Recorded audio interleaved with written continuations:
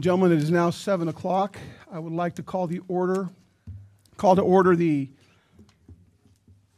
March 9th, 2020 uh, regular board meeting of the Othello School Board of Directors. We will commence tonight with the flag salute. I pledge allegiance to the flag of the United States of America and to the republic for which it stands, one nation, under God, indivisible, with liberty and justice for all.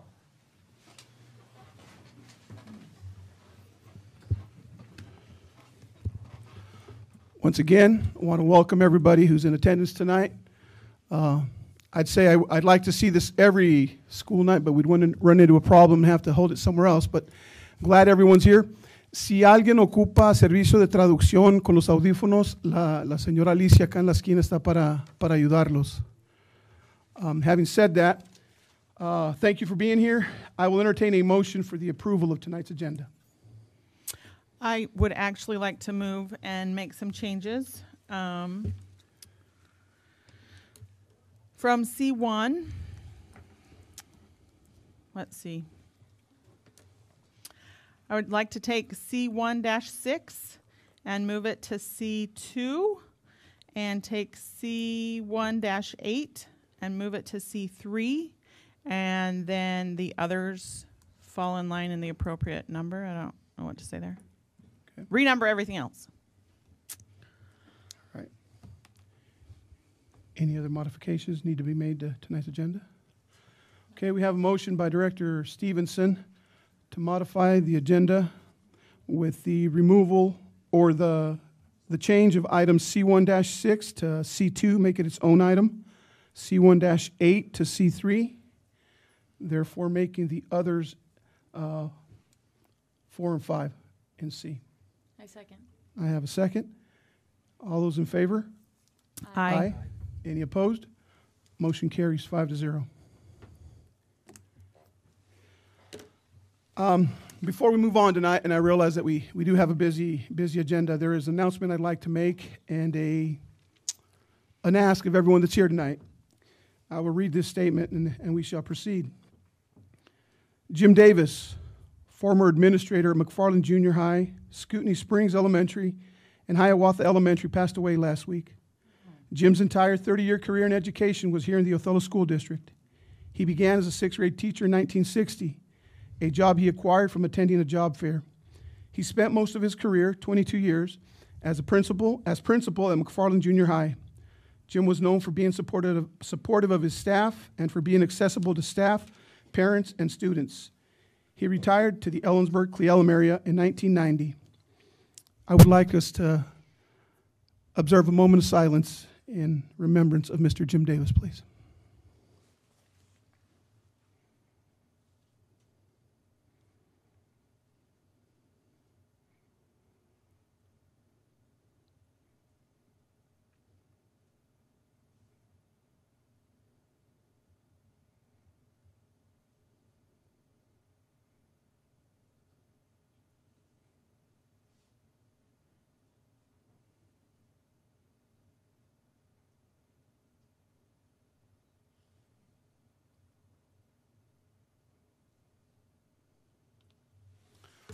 Thank you very much.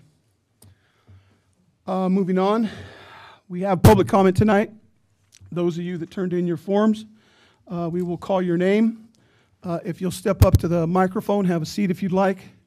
Uh, speak clearly into the microphone so those that aren't here tonight that are uh, listening via YouTube can hear your comment. Uh, you can direct your questions to the board, and we will respond with a response if possible tonight. If not, the appropriate personnel or proper person will be getting back to you with answers to your questions. Mike, should we ask the rest of the people to come in? If there are more in the hallway that want to come in and stand on the sides, yes, you are more than welcome. Maybe there's quite a A bunch. but there are some chairs too. Yeah, if, if we, if those in the hallway want to come in, yes, please do.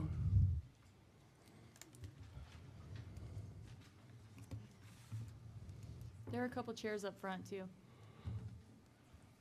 There's two on this side and there's one on that. Another one up front on this side.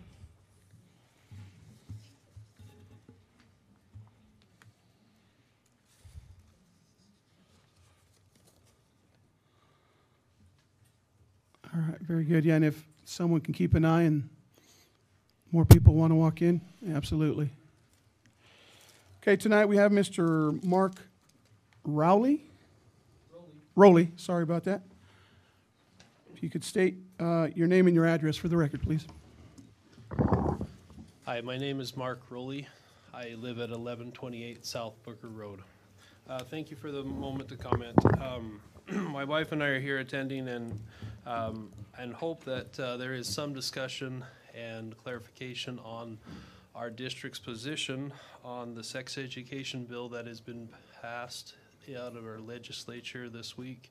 And I don't know if our uh, governor has signed it today or not. I haven't heard that. But um, I am abhorred by this action of our government, and I strongly, strongly urge the board to consider any possible way of not adopting this new curriculum. I think it is abhorrent of the things that are taught, the thing at the ages that they're taught, and the suggested curriculums that have been that have been caught, been proposed.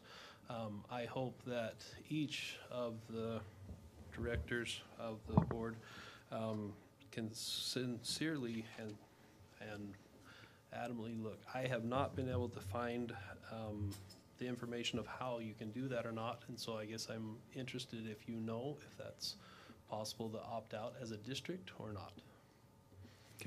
I know there will be a report when uh, our board member discussion comes up. Representative Stevenson has some information for us. Uh, I don't know if that particular answer is there, but we'll, we'll all listen to what she's got to say. Thank you. Angie Pruneda? I'll, I'll pass. I was part of the same information he had. Okay. Erica Gomez?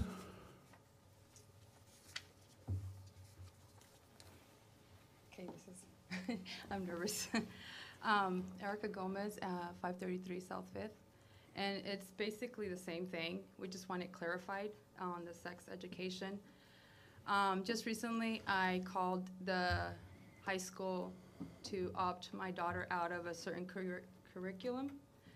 And um, I wasn't aware that was going to be taught. And I was told that her GPA might drop because of that if she is opted out. And so I just want clarification on that. Okay.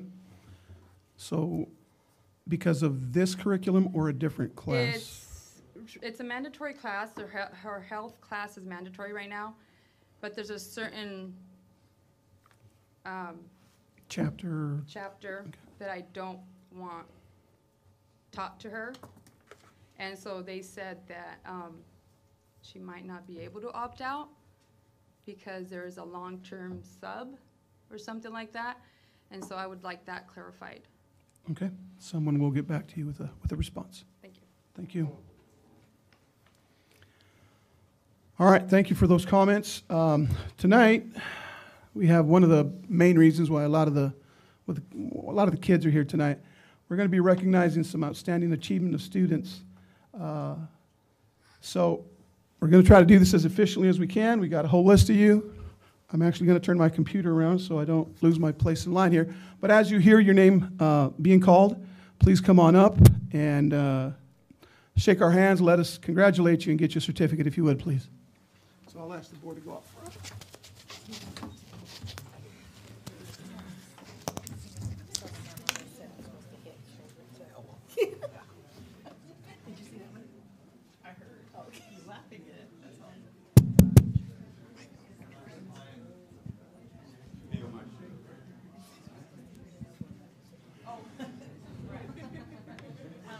Mike, you might want to do elbow. Oh, elbow bumps, yeah, okay, if, if that makes you feel better. Uh, some of these students, you're actually, there's, you got a couple certificates coming your way. We'll do these individually. Uh, we got a couple categories here. So, uh, first off, that better be Jesus. I'm joking. Academic All State Boys, um, Jackson Rocha.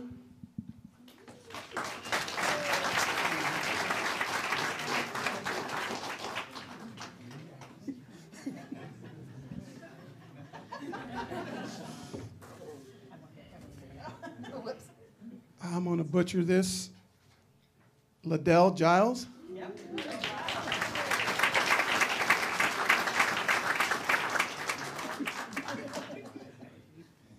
Isaiah Perez.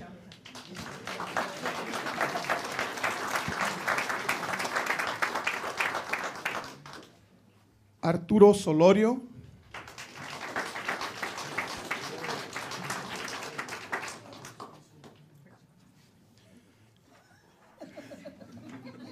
Eric Gomez.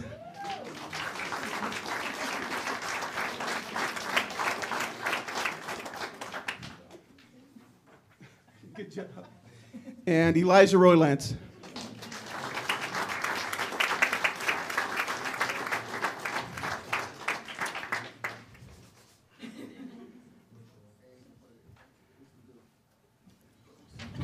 Good job. Academic All State Girls, Emily Mendez.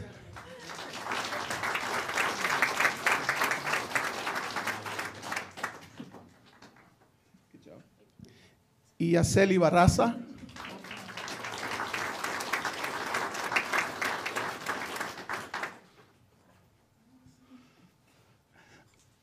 Mercedes González.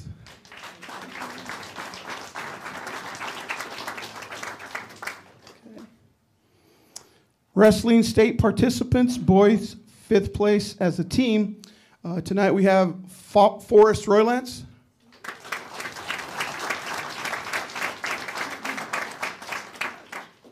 Josué Solorio.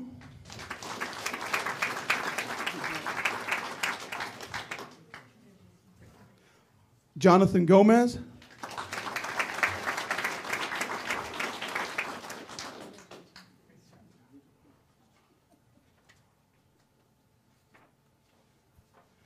Jackson Rocha.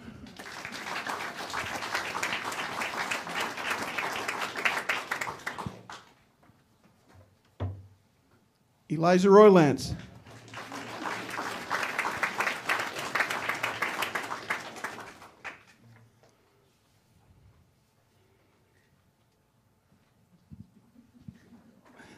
Arturo Solorio once again.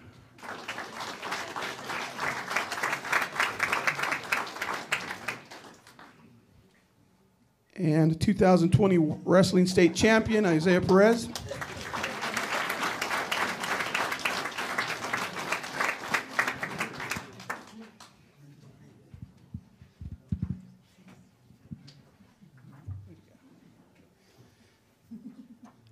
Wrestling uh, state participants for the girls, also a fifth place uh, as a team. Uh, Alexis Monday. Guys, I'm sorry, I, I didn't mention your guys' placement, but uh, Alexis was fourth place. Iaceli Barraza, second place.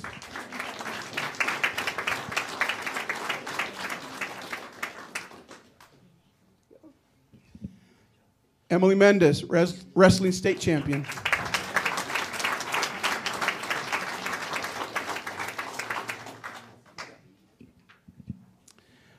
And we have our unified uh, basketball state participants, uh, Mr. Josh Lemke.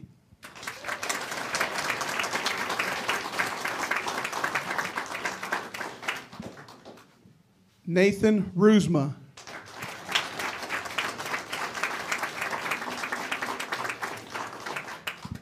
Brandon Cusks.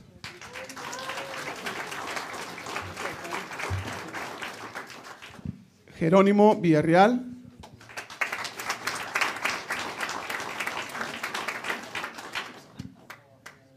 Sandra Montejano.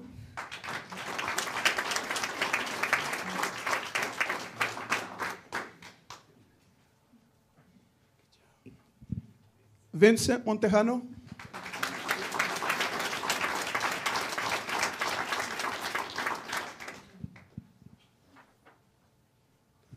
Brian Gomez.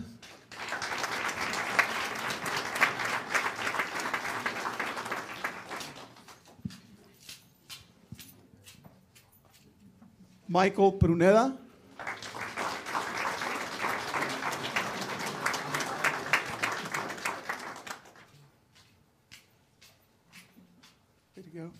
April Pruneda.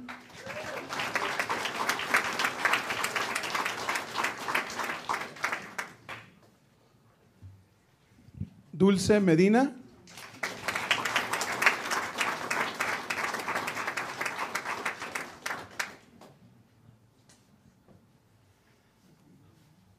Valerie Parra.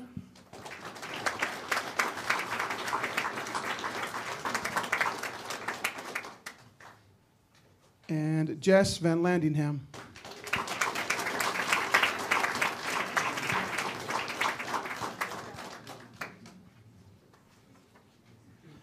Just want to congratulate each and every one of you for the excellent effort.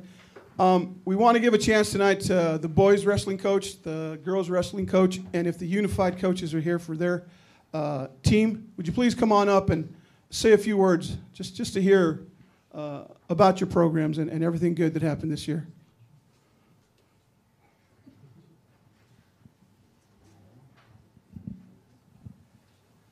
All right, so first of all, congrats to the boys. Uh, placers, we had Elijah Roylance, who was seventh place. Um, Jackson Rocha was seventh place. Arturo Solorio, second place. And then Isaiah is actually the first heavyweight three time state champion in history at, in Washington State. Um, And I'd say it, it was a fun season. These guys were a lot of fun. Uh, I felt like we had a lot of support with, within our uh, admin at the high school. I always felt like we had support in our athletic director, along with the school board. It was it was nice seeing guys. Uh, it was nice for the guys to see people showing up in the stands and supporting and watching. Um, so we we're just really thankful with um, with everything. We feel like we have a lot of support. I'd like to thank my coaches. Uh, I got some here. So Wayne Schutte, you can give him a hand.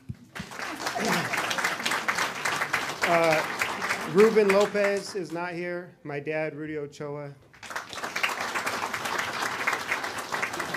Sammy Rocha is not here. Uh, Edgar Mendez. And, and Jacob Johnston, who's also not here. So I'm, I'm surrounded, I'm lucky to be surrounded by an excellent supporting staff that makes everything just run really smooth. So, as a whole, it was a great season. I appreciate the support. I appreciate you guys recognizing us. And another thing I, I just want to end on, if, if you could scroll up to the academic side. So, we had six, six academic all state, and Liddell Giles was the academic all state champion. So, Liddell Giles was an academic all state champion.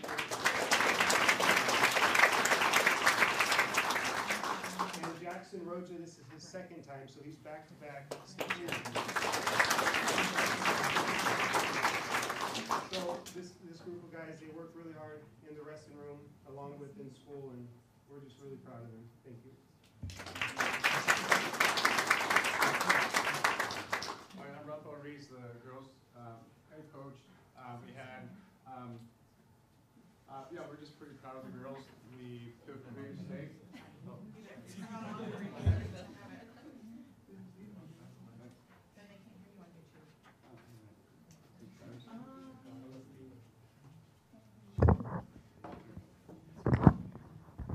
Okay. All right. So I'm Rafael Reese, uh, the girls' head coach, and um, yeah. So for academics, we had three honorable mentions. Um, no state champions, but um, but these work uh, these girls worked pretty hard, and we had a pretty tough season. Um, we had a lot of things that we had to deal with, but we finished fifth at state, uh, and that speaks uh, volumes about the team. Uh, we took three girls, and all three girls wrestled really hard, um, and earned their place on the podium. So that was something that we're really proud of. Um, and um, yeah, we're looking forward to next year. We have a pretty good team returning as well. And, um, and yeah, so if you see them around, congratulate them. And um, yeah, we're just very proud of them. And I'm very thankful for my uh, staff as well. We have Mark De La Rosa. And um, the other assistant couldn't be here tonight, um, but uh, Lupe Perez. He's and I just want to say thank you to everyone that supports uh, our wrestling team. And I mean, we have a pretty strong community that that stands behind it, and um, we continue to push forward and really do our best to give these girls a chance to participate in a sport that um, you know not very many girls come out to be part of. So um, yeah, just applaud them. I applaud them for continuing to wrestle hard through this tough season, and we're just really excited for next year. So, thank you.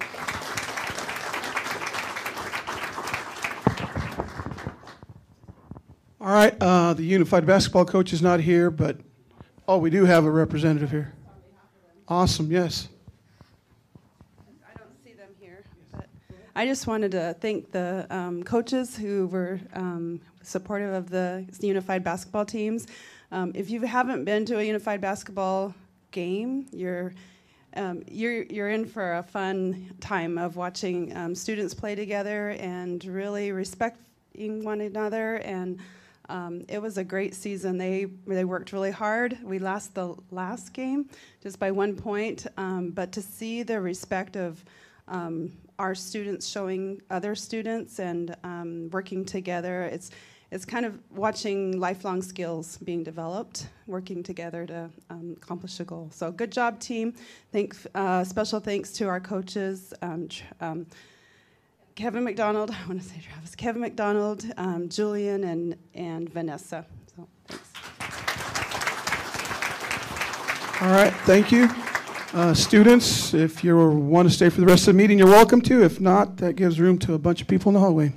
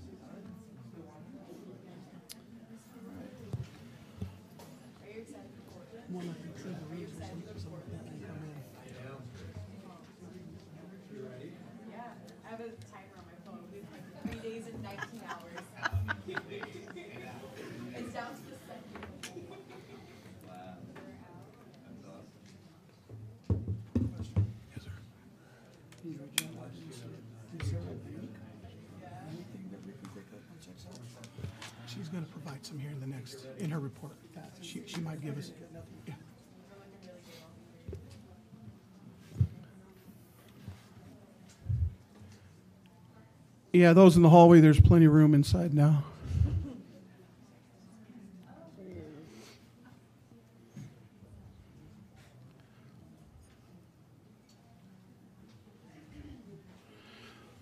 Okay, moving on tonight, um, we have our board member discussion. And I think the majority of you, or most of you, are here to, to listen to our legislative, legislative representative, Jen Stevenson, with some information on the sex ed bill. Uh, I want to applaud Jen for uh, taking on, take this, taking on this, and uh, uh, I'm sure her information is uh, important to all of us, so if we could pay attention, uh, I think uh, we're going to learn a lot tonight, so take it away, Jen. Do you have the stuff I sent ahead? Okay. Um,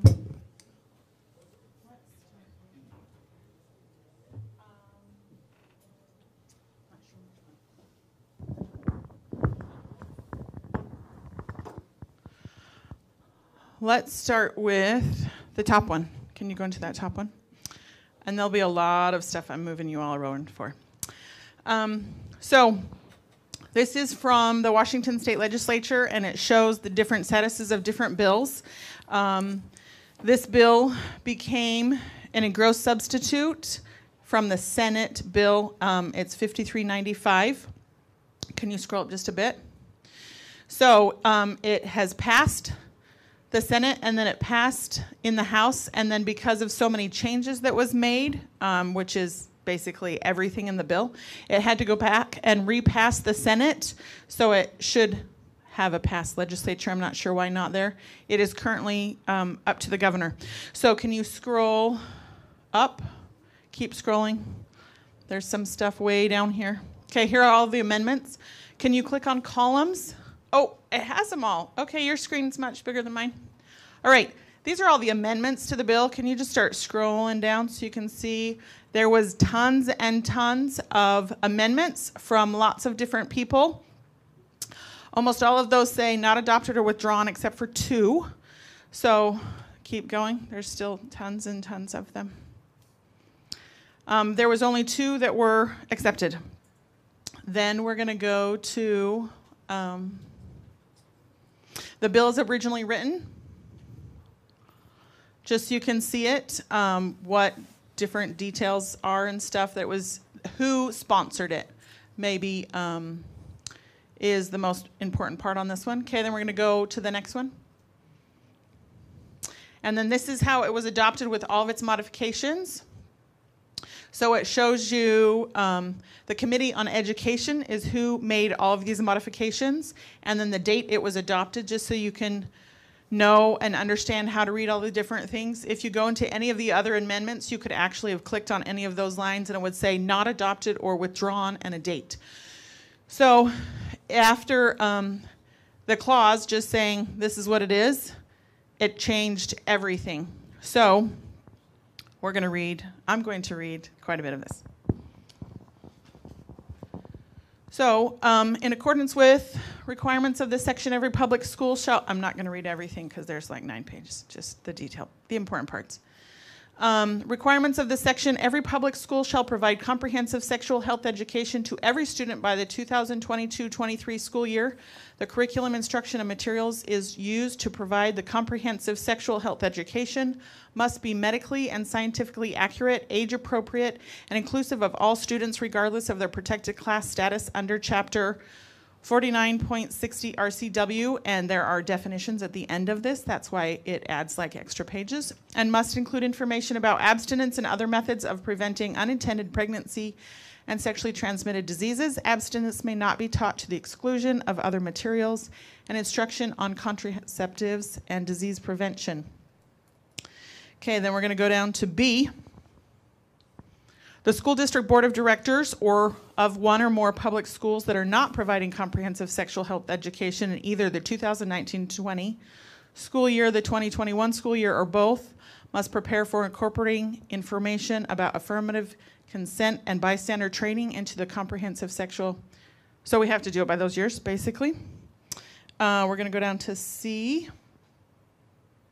Um, comprehensive sexual health education must be consistent with the Washington State Health and Physical Education K 12 learning standards and the January 2005 guidelines for sexual health information and disease prevention developed by the Department of Health and the Office of the Superintendent of Public Instruction. We're going to look at that a little bit later, but these um, requirements, guidelines is the right word, have been in effect since January of 2005. Um, and then under 2A, it says, um, starting with 21 22, all grades 6 through 12. B says 22 23, all public school students. Um, and C says how often. Um, once to students in kindergarten through grade three, once to students in grades four through five, twice to students in grades six through eight, and twice to students in grades nine through 12. Um, section three says OSPI, which stands for um, Office of Superintendent of Public Instruction. So I'm just going to shorten that to OSPI every time we come across that. Um, says that there's learning standards on their website. Four says they have to list curriculum on their website and update it annually. Um, and they have to review it and revise the training materials for it. 6A says public schools are encouraged to review their comprehensive sexual health education curricula and choose a curriculum from the list developed. Under subsection 4 of this section, any public school may identify, choose, or develop any other curriculum if it complies, complies with the requirements of this section. Um, under B, it says if you pick a curriculum that's not on the list, if it uh, fits all of those requirements from the January 2005, it still counts. 7A, right there. Any parent or legal guardian who wishes to have his or her child excused from any planned instruction in comprehensive sexual education. Education blah, blah, may do so upon filing a written request with the school district. Don't file it with us. There's a there's a process. There's already forms for opting out your child. Um, they've always been offered.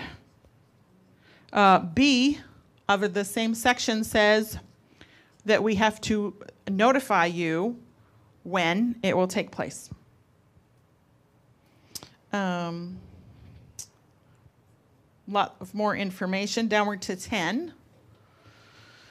Nothing in this section expresses legislative intent to require that comprehensive sexual health education or components of comprehensive sexual health education be integrated into curriculum, materials, or instruction in unrelated subject matters or courses. So then it goes into details of definitions under 11. Let's go to part B. Comprehensive sexual health education means recurring instruction in human development and reproduction that is age appropriate and inclusive of all students, regardless of their protected class status. All curriculum instruction and materials must used in providing comprehensive sexual health education must be medically and scientifically accurate and must use language and strategies that recognize all members of protected classes. Comprehensive sexual health education for students in kindergarten through grade 3 must be instruction in social emotional learning that is consistent with learning standards and benchmarks adopted by the Office of the Superintendent of Public Instruction. Um, grades 4 through 5 through 12 have other information. Okay, now we're going to go back to the last report. Okay, this is the thing that they came out with in January of 2005. There are lots of different sections to this. They all have different colors. So we're going to scroll down to sexual education. It's like light, it's like teal ish.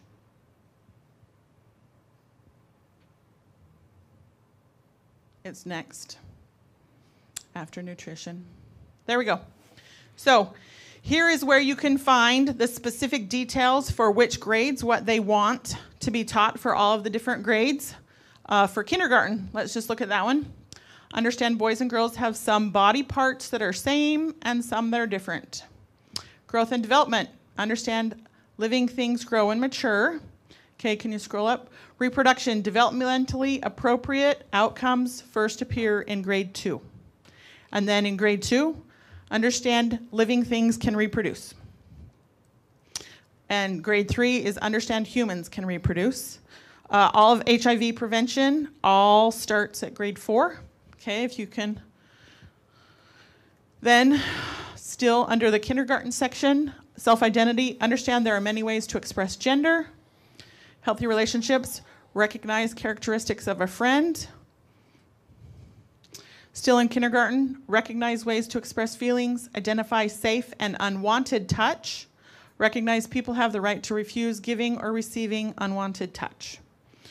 I think, will you scroll just a little bit more? I think that then it jumps to grade six. Um, so,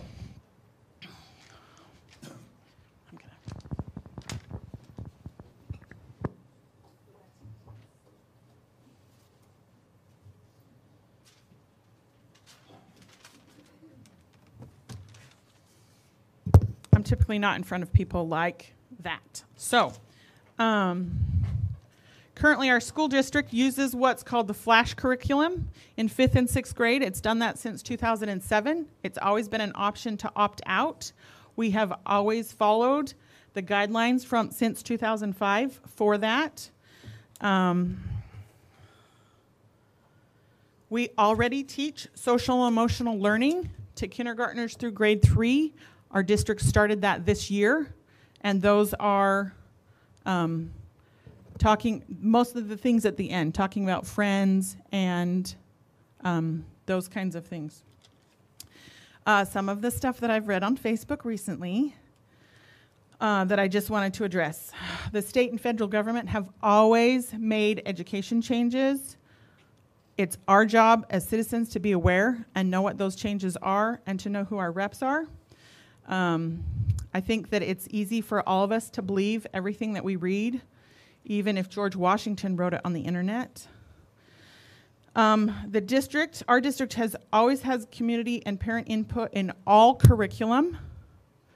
Um, but if you've always planned on opting your child out of the curriculum, then maybe it's not something that you should ask to be a component of the curriculum. It's like saying, I want to be a part of making this hymn book, yet I don't go to your congregation. Um, so if you're planning on opting your child out, maybe going, being a part of the curriculum committee is not the best thing. You can always see what the curriculum is um, at any time. There, let's see, her name is. I have it in my little documentation here somewhere. Dorothy Martinez, uh, here in the district office between the hours of 8:30 and 3:30 p.m. But it does say very specifically on the opt-out form, you do not have to preview materials in order to opt your child out of all or part of the curriculum. We've always called um, grades four through six sensitive issues the way that the state has changed the name to comprehensive sexual education is a bit inflammatory um, for my views, but the board, a local school board, always approves the curriculum for the district. If we're not approving curriculum that you're happy with, then we're not representing you well and you should vote us out. Uh, the district so we already are, we are already doing all of these things that this new bill is saying that we have to do because we're picking appropriate curriculum for our community. We're a highly Christian community. I know that we're a highly Christian board as well. We all are here because we love not only our own children, but the children of this community. And if we were to do something that is abhorrent or outrageous, then again, we're not representing you well. Um, and in terms of just the sex ed bill, that's what I have to say. Any other comments by any of the board members? I would, I would encourage everyone just to continue reading on it. Um, there, we don't have any concrete answers, as you can deduct from, from, from Jen's presentation. Uh, I do know that you have, you got to fill out this piece of paper, and you will never hear about what this is or, or, or what it was for your child. Um, I think Jen did a good job of uh, describing our intent, uh, uh our non willingness to, to approve something that does not go with the values of this community.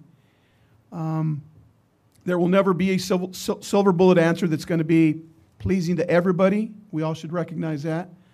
Uh, although I have no more children in this district, and my grandchildren will probably never come to the Othello School District, I, I, spend the time that I do and volunteer this time because I care about each and every one of the kids that, that are in this community. And the last thing I need is for the wrong curriculum, especially with such a delicate subject, to be uh, forced on anyone. And, and that, is not the, that, that is not the intent of the state, I don't believe, or of this district.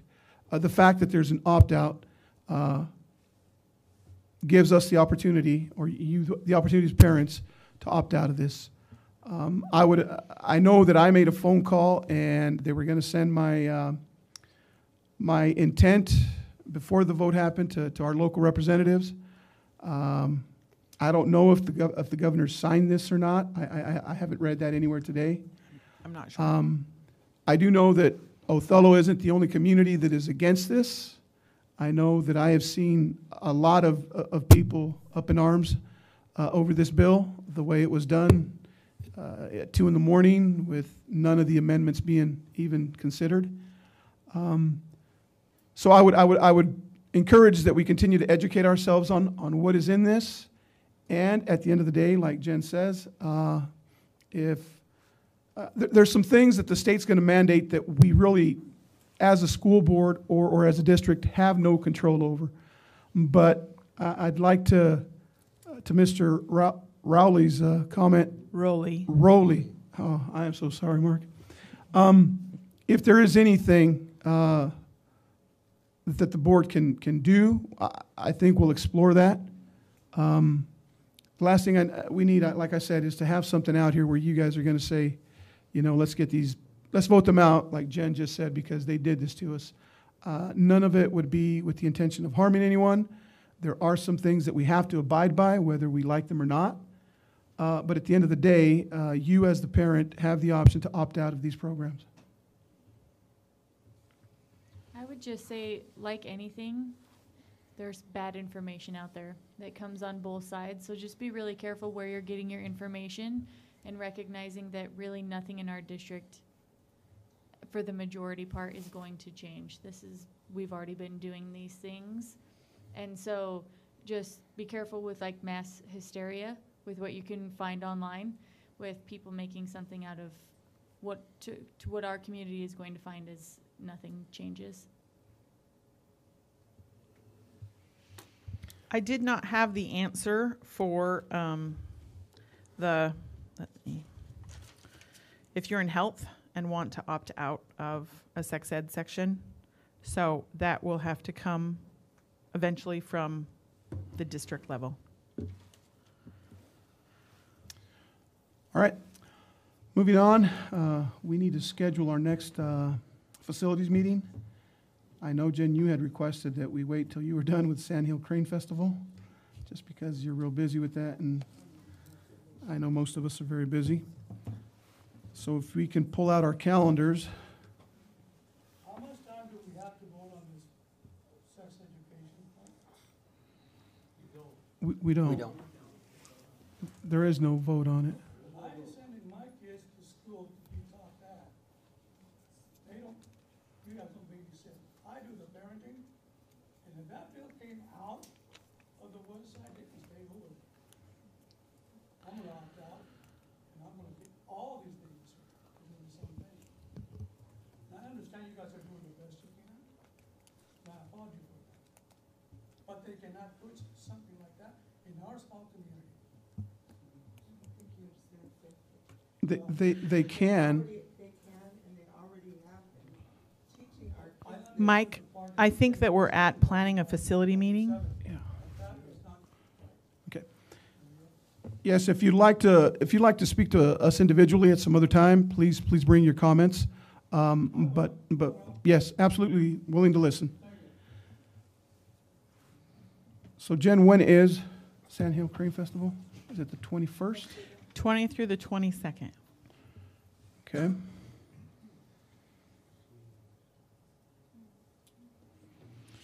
We have been doing some Wednesdays. Do we want to do the 25th? We already have a meeting on the 23rd. Um, Or we could do the 30th.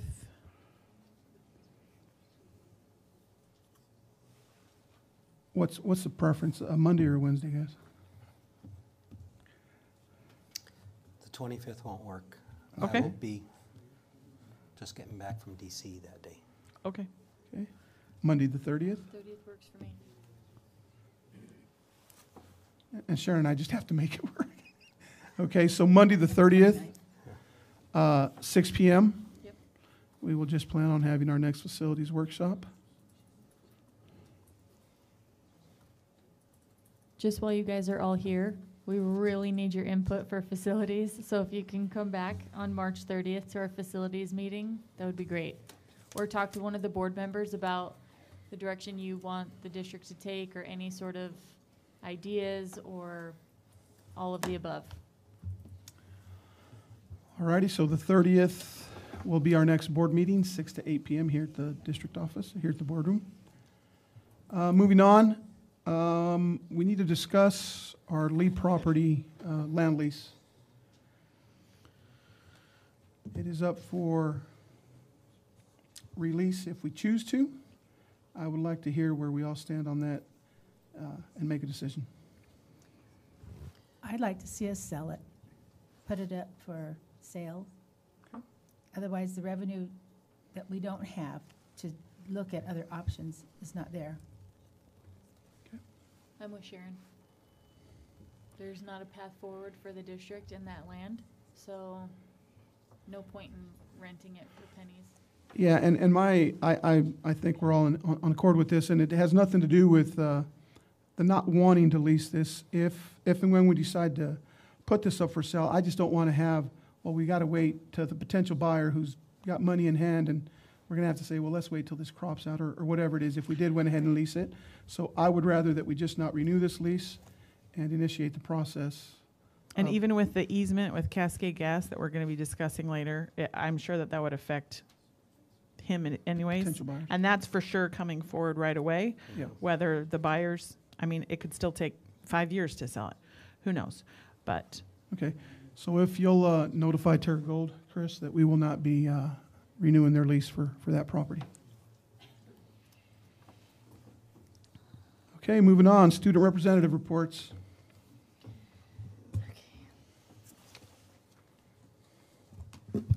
Good afternoon, evening. It's evening. Good good evening.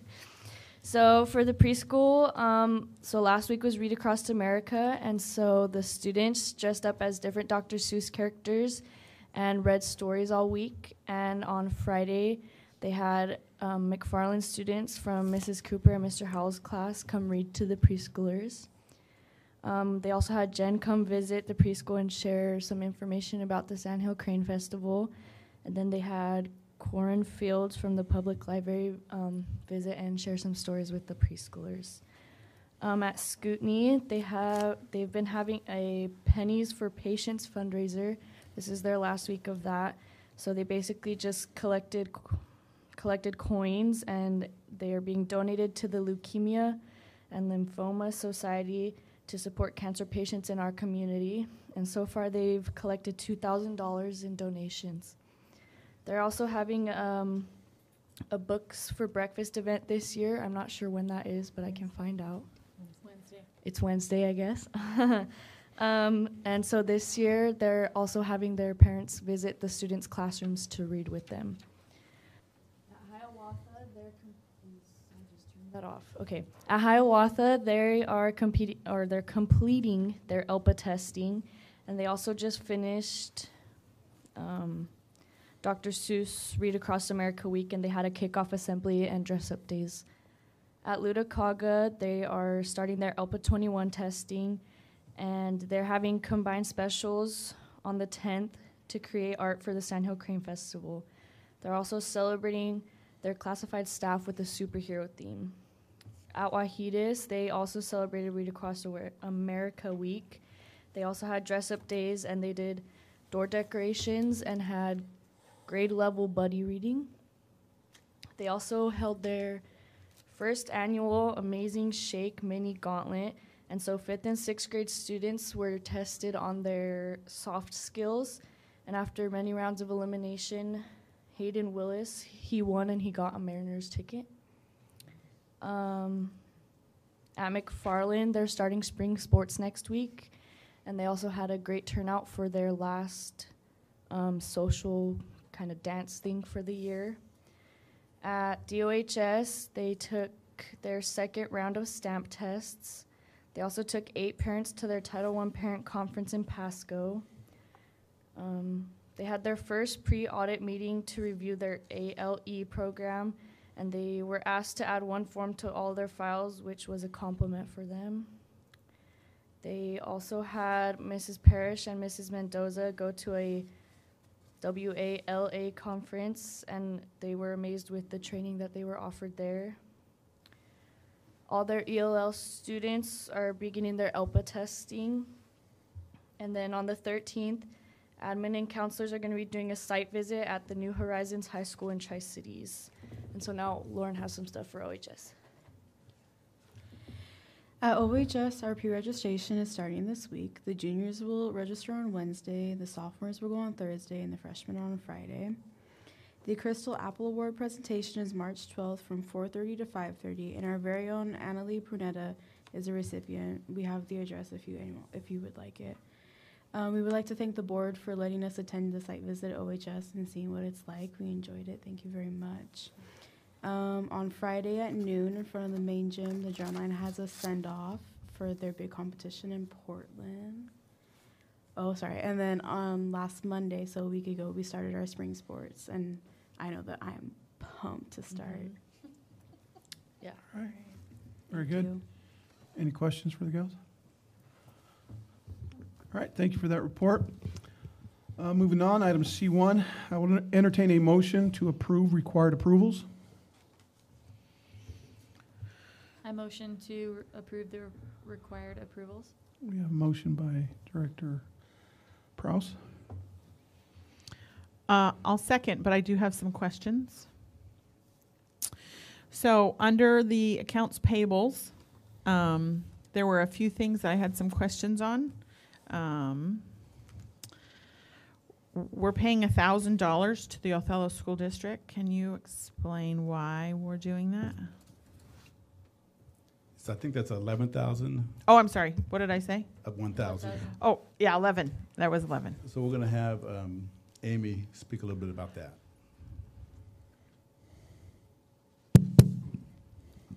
Okay, so we had a check made out to Othello School District for eleven thousand ninety-six. This is going to be deposited into our certificated dental trust.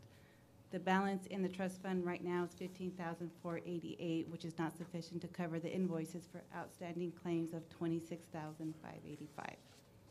The executive team is currently working on resolving this issue, but in the meantime, claims are still having to be paid. So, it, how how is it short now when it hasn't been short in the past? So um, prior to SEB, we had our trust fund, and we have not made a deposit into that since December. That was the last payment. Okay. Um, When we started the school year, the balance on that trust fund was 87,000. We deposited 100,320. However, the claims have come in at 187,811. So you're saying that that since SEB, when the state took over all of the healthcare, Mhm. uh, no money was deposited, but there's still money that needs to come out of it because it was still Correct. claims So it's from last called a- year. It's a runoff. Okay. So we'll, s- and I think there might still be another outstanding invoice coming as well. Okay. So. All right. Just we I hadn't seen us pay ourselves like that before, so I was curious on that one. Okay. Um, I'd like to speak on the, um, the public relations and communications job. And I was hoping that we could see a, a job info that tells what the requirements would be. And, um, I contacted, one of the other board members told me that I could, should call around and ask if I had questions. Because, um, the districts that we, um, have contact are not really in our area that are, or if they are, they're a lot larger. But I contacted Quincy, and they'd have no job in that description, but their superintendent does the same. Um, was, they were out of school, and I didn't get a chance today. Uh, Warden doesn't have that job, and uh, Moses Lake does, but their rate is fifty thousand to seventy-one thousand, depending on education. You have to have a three years of service knowledge, and, and I wanted to compare our sheet to this sheet to see if they're kind of the same, since we were offering a much larger wage. Outstanding, thank you so much. Uh, We're gonna ask Sandra if you could respond to that, please.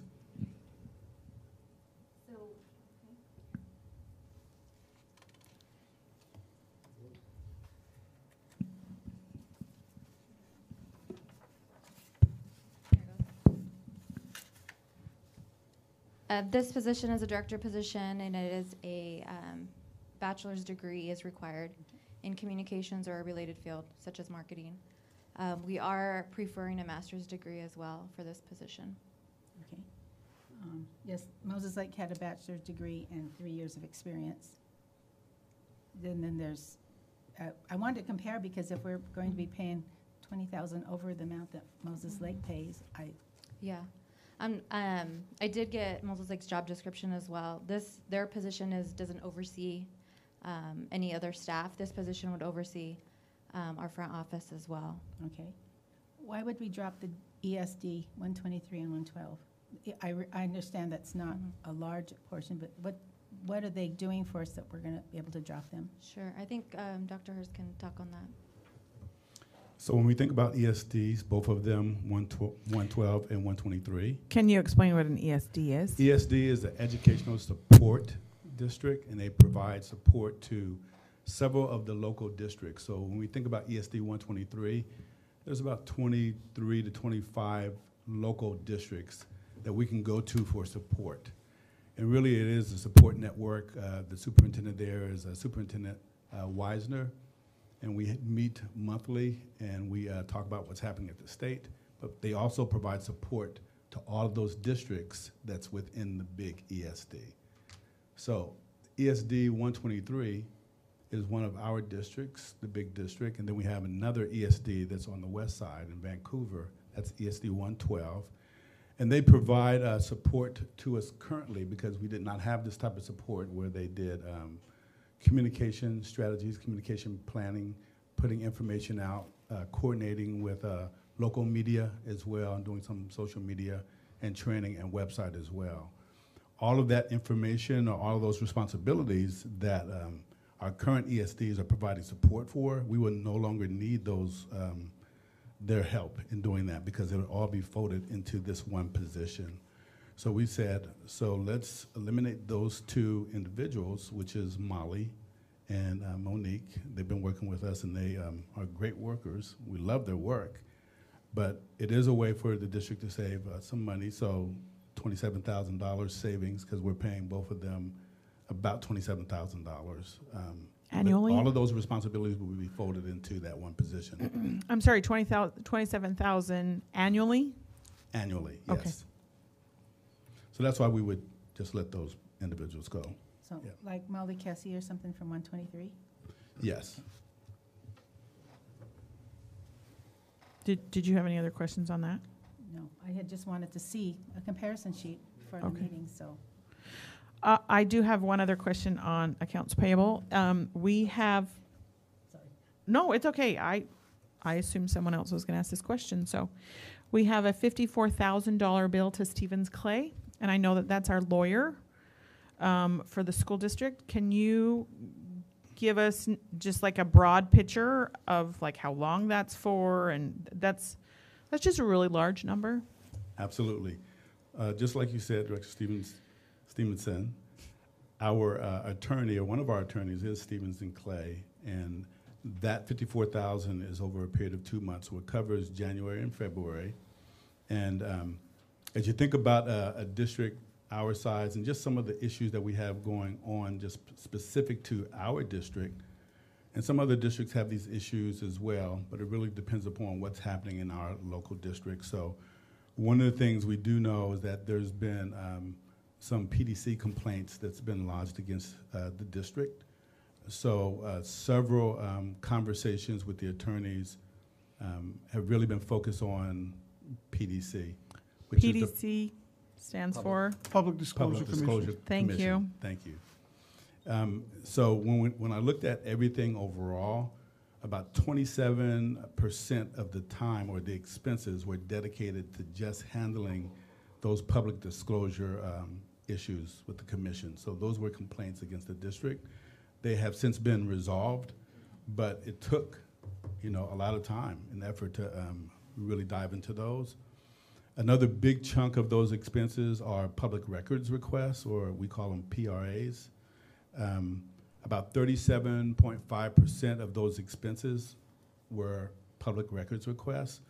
Um, just an example uh, to the board, I think uh, a few weeks ago, or maybe a, a month and a half ago, we shared with the board uh, just the costs that is taken from beginning of the year to now. Um, and we have ongoing PRAs or public records requests. In fact, we just had one again today. So all of that is, is a very detailed process in which we have to talk extensively with the attorney. They have to give us feedback and share with us timelines and specifically what to do. Um, but I would say most of the expenses for those two months have been on PRAs, so 37%. Then there was also um, some cease and desist letters. Those are letters that I shared with the, the board um, uh, confidentially, and I shared with um, the board that there are individuals that are making comments about our district that are um, libelous, meaning they're false statements. So I don't go out looking for the information. However, when it's brought to my attention, I share with the attorney, um, and then we send out a letter. So that just takes some time. What- That's been a small percentage of the of the expenses, that's only about ten percent, so very small. So there's only been um, a few of those cease and desist letters. But then also, if you look across the district, every district has um, personnel that they have to deal with. Um, And some of those issues deal with um, employees being on probation or maybe even um,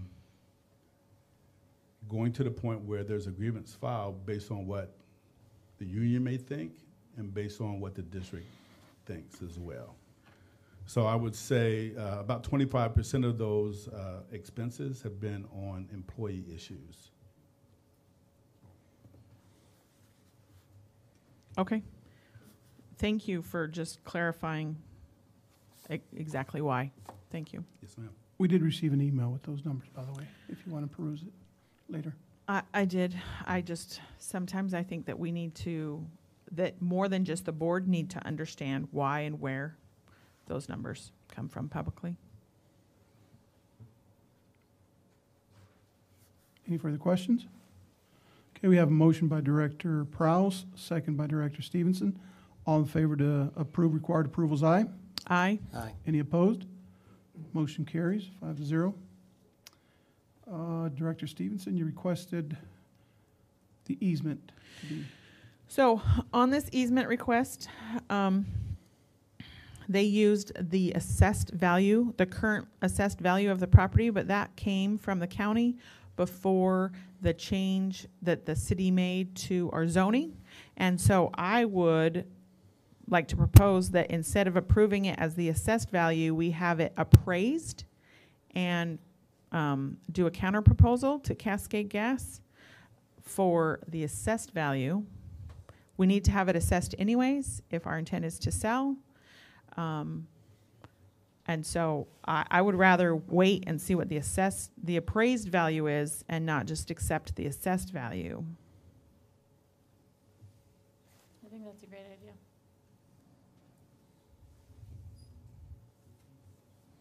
Should go up, shouldn't it? Yeah. Hopefully, It should work in right. our From the favor. areas around selling. Right. Yeah, that should definitely work out in our favor.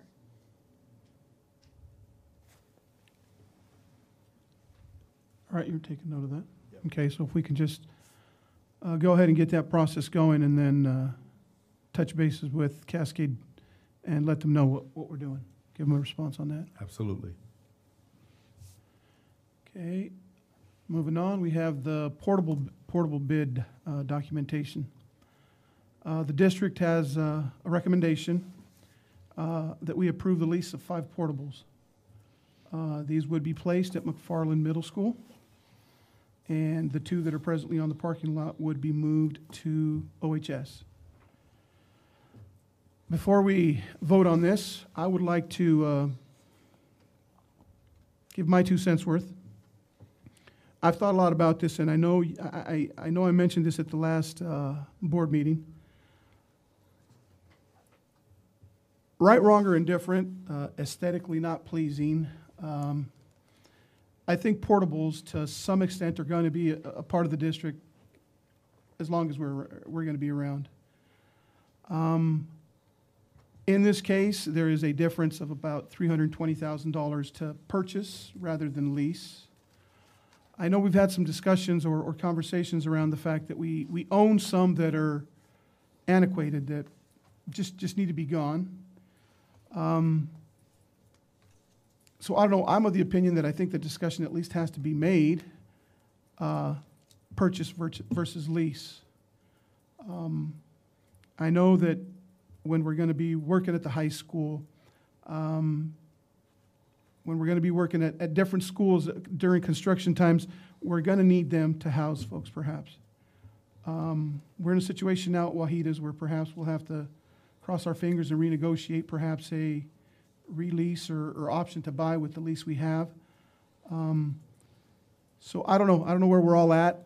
I, I'm actually, I, I'd rather see us purchase these instead of lease these if we go through with this. My comment really doesn't have to do with purchasing or leasing, but I'm not sure if I'm willing to say yes for five portables for the preschool, not against the preschool, but because we have four other elementaries that are overcrowded. We're not discussing what we're gonna do there. And yes, if they, if they're talking about a bond, we're still talking four years plus before we can even see an elementary school. What are we doing about our other four schools that are overcrowded? I mean, so do we look at leasing more? I mean, I, I don't know. It, it's, financially, I don't think it's something that we can jump ahead and just do. I know you need to know tonight, don't you? I know. I just Okay. wanted it on the record that that's what I spoke. Well, yeah, I, I mean, I hear you on that, Sharon. At this time, I'm not under the impression that any of our elementary schools have required additional portables, have they, for the 2020, 2021 school year? That's correct. So, um, if they needed them, I think we would, we would get them. But right now, they, they don't need them. Yes, I think we're all in agreement, we need an elementary school, and we've got to solve that problem, but we'll do that at our facilities. That's, that's what we're, be- we've been doing at our facilities meetings. Um, as far as the long-term versus short-term vision, I'm with you, Mike. The long-term vision makes more sense to buy them. And then, I mean, we can always use them to replace the dilapidated ones at Scootney or at some of the other schools, but I think if we sign a three-year lease, we're gonna blink our eyes and it'll be three years and we'll need them longer. So I, I, I'm on your same vision of buying versus leasing. For a three-year lease, the lease cost is four thousand, I'm sorry, four hundred and sixty-nine thousand, one hundred and fifty-eight dollars to lease for three years, five double-sided portables, so ten classrooms, to purchase seven hundred and ninety-nine thousand. Uh, for me, looking at those numbers, I'm definitely, uh, we're, I think we should purchase whether, even if we could keep this plan for the three years and then move on to something else, we're always gonna need portables somewhere. Even if they sit empty for one year, we're growing. We're not gonna stop growing. So I, I think we're gonna need the ability to move portables around as needed. If they ever got empty in the first place. I, I doubt that would happen, but. Right. Should the elementary schools talk to you if they need? Do they Yes, ma'am. They- realize that's something they can do now? They can, they can either call myself or Pete, or even Greg, any one of us. Ken, we haven't heard your thoughts. Two- I wanted to ask Ken what Oh, his thought was Two on and a that. half years ago, we sat here and we went over the portable purchases for Wahitis. And at that time, uh, leasing, and I'm, was very much for the leasing then, for leasing the, those buildings. With the hopes that we would have a plan within a couple years to have some construction uh, ideals are going on. Uh, Here we are now, going on the third year, and now we're faced with the issue of trying to either renegotiate a lease, release those buildings, and which, for another three years, which we could have possibly purchased them uh, for the same value. A- And that's, I know we're in the need of five portables very much right now. Actually, we're in the need of more portables than that to get us by. Uh, I think if we purchase, it, it's going to be at least three years, I think, before any construction could be completed upon the approval of a bond. And uh, it's going to be a couple years after that. So we're looking at at least six years of uh, use of portables. And, and yes, it does make sense to purchase these more. It's going to be a, a cost savings in the future to these portables. And yes, when we do get the construction all done, and get the schools up to par, we're going to be ready again for more portables. I know that. And these will be in newer condition, a lot better that we could maybe rotate some of those older ones out of the inventory and get rid of them. So at this time, for savings to the district and looking into the future, I think purchasing would probably be the better option.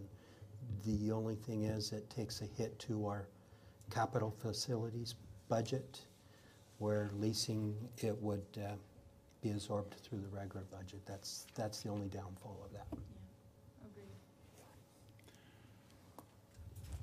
So I think. Uh what we'll do is we will, um, I think we need to vote on the, accepting the recommendation of the five portables with the distinction of making them a purchase rather than a lease. So I'd like to uh, motion that we purchase five uh, portables uh, to be, to be placed at MMS for the preschool. Second. Okay. All those in favor of the purchase of five portables at MMS, aye? Aye. Any opposed? Motion carries.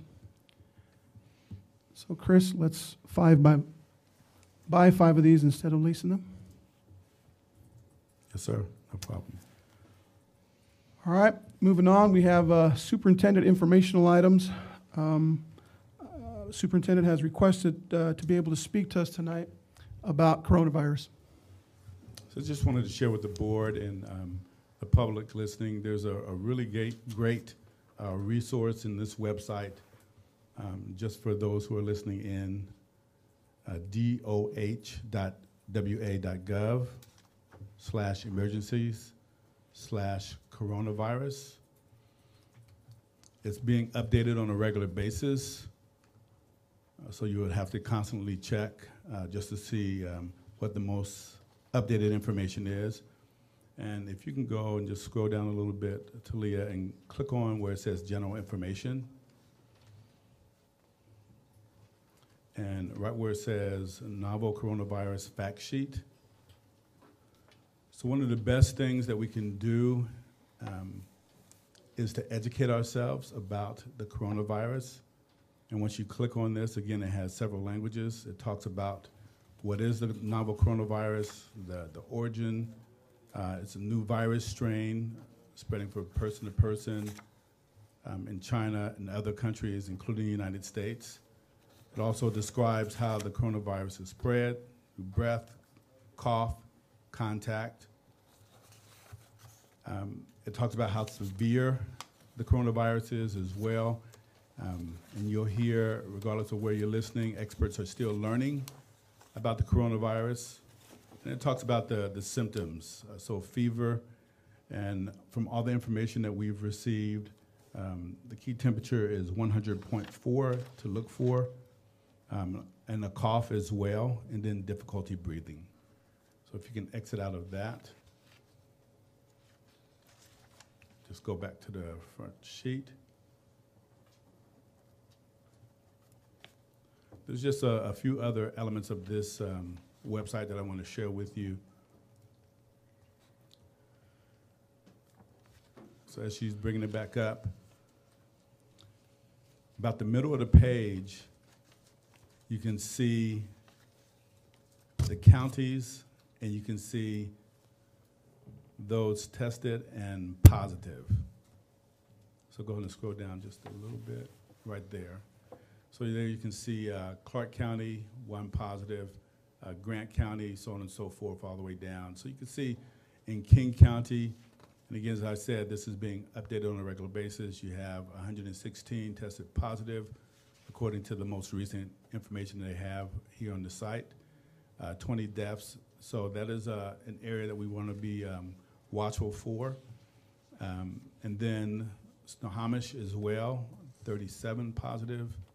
However, you have uh, one death there as well. You can also see in Grant County, they did up that, a, update that from this morning.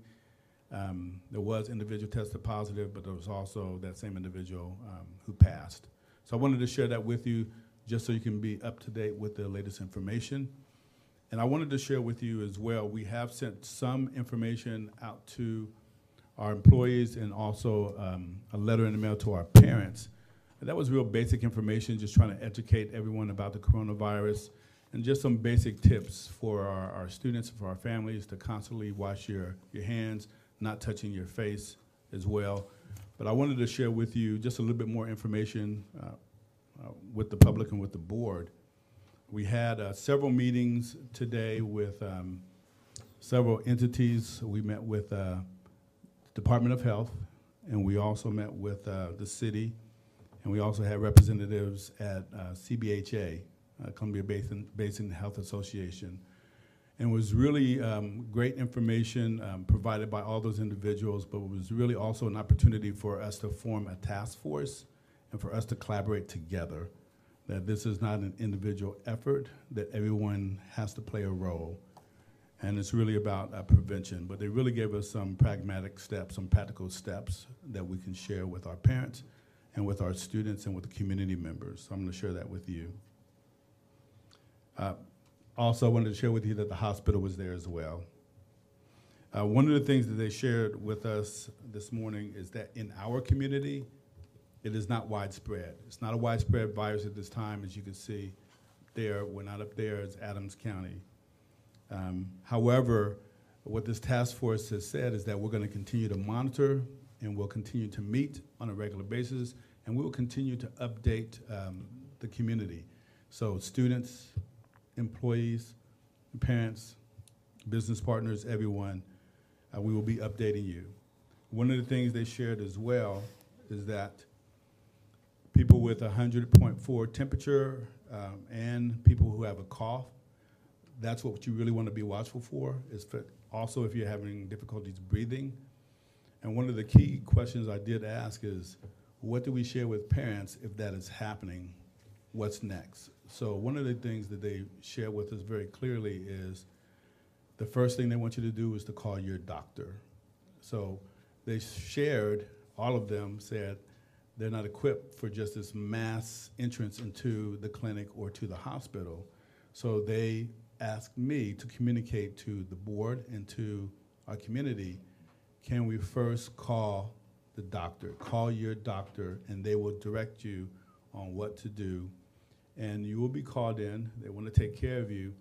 And their intent is to screen out everything first and then test as well. So I wanted to share that with you. And then just some other practical steps they shared. One, increasing hand washing, so making sure you wash your hands. Um, if you're not around soap and water, that you're using um, a hand sanitizer that has at least 60% alcohol contained within it. They also talked about uh, building time in the day, each day, for hand washing for our adults in the home, at the school, on the job. They also talked about frequently cleaning personal surfaces, desks, doorknobs, handles, etc. Um, for the school specifically, they spoke about enlisting students to wipe off surfaces, so making sure we keep the areas clean inside the schools. They also talked about um, teaching etiquette, respiratory etiquette. So when you cough, you cough in your elbow. Um, that we refrain from the hugs and the handshakes, as you saw this evening, that we're doing the elbow bumps. They also talked about um, this practice called social distancing, so keeping about six feet away. Um, that's something we're going to have to think about as a district, especially in arm's length away. Um, one of the things that we'll provide to the board and to the public more about, because one of the things that we're going to do, since we've had all of these um, great informational meetings today, is we'll be now putting out some very specific step-by-steps on what will happen for us in Othello if there is an outbreak. What are our next steps? What do we do um, with the individuals? But one of the things that um, I'll be sharing more intimately with the board as we meet um, more about this, and hopefully tomorrow we're trying to schedule some meetings with you um, about canceling trips to certain areas that are at risk. So you saw that on this map here, those areas that are at risk, and then really watching how we assemble in large groups as well. But I'll share more uh, with the board individually tomorrow when we talk about that. Um, the other piece that we um, spoke about is daily regular cleaning of our facilities. Um, so Greg was in that meeting. Um, he's all on top of that. And then also our buses. And Marion was part of that meeting as well. And again, our intent is to now uh, make sure that we get out to the public and to everyone, to be quite honest, what our step-by-step process is going to be, and what happens in Othello if there is an outbreak or if we do have to close the school. So that information is coming. Um, we should see that um, by the end of this week.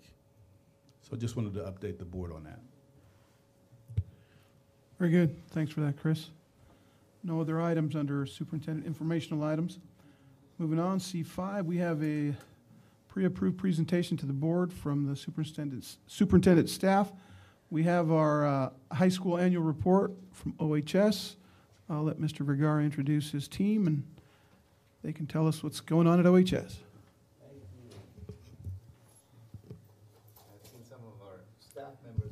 You're going to need to turn that on, Mr. Vergara. Thank you.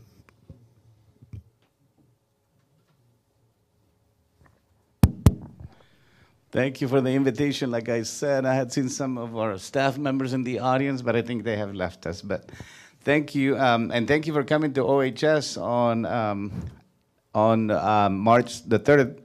It was a fun uh, experience. I think we have. Um, we can say that we have great um, student representative groups that were um, uh, invited to the occasion. We chose a very representative uh, sample of our student population. We also had um, quite a few parents in attendance, and we also had uh, a great number of staff in attendance. So thank you again for coming. And let's start out with, um, I guess, the pictures that you show that makes up um, Othello High School. Uh, the students, of course, first and foremost, the staff at a, at a professional development um, uh, opportunity, and then the parents. And then, of course, um, graduation, which is a celebration for the whole community of Othello. To my left, um, I'd be uh, remiss if I didn't introduce to my left uh, um, Mr. James Wood, one of my assistant principals, and Mr. Uh, Scott Schwartz to my right. Thank you. Um, we align the presentation um, in, um, in alignment with the, the ends, and we'll start out with uh, N1. Each scholar at every grade level will perform at or above the state or district standards in all disciplines. So go ahead and move on to the next. And I'll let Mr. Wood um, take it from here for a little bit. So every spring we take a uh, SBA test, it uh, tests for math and language arts.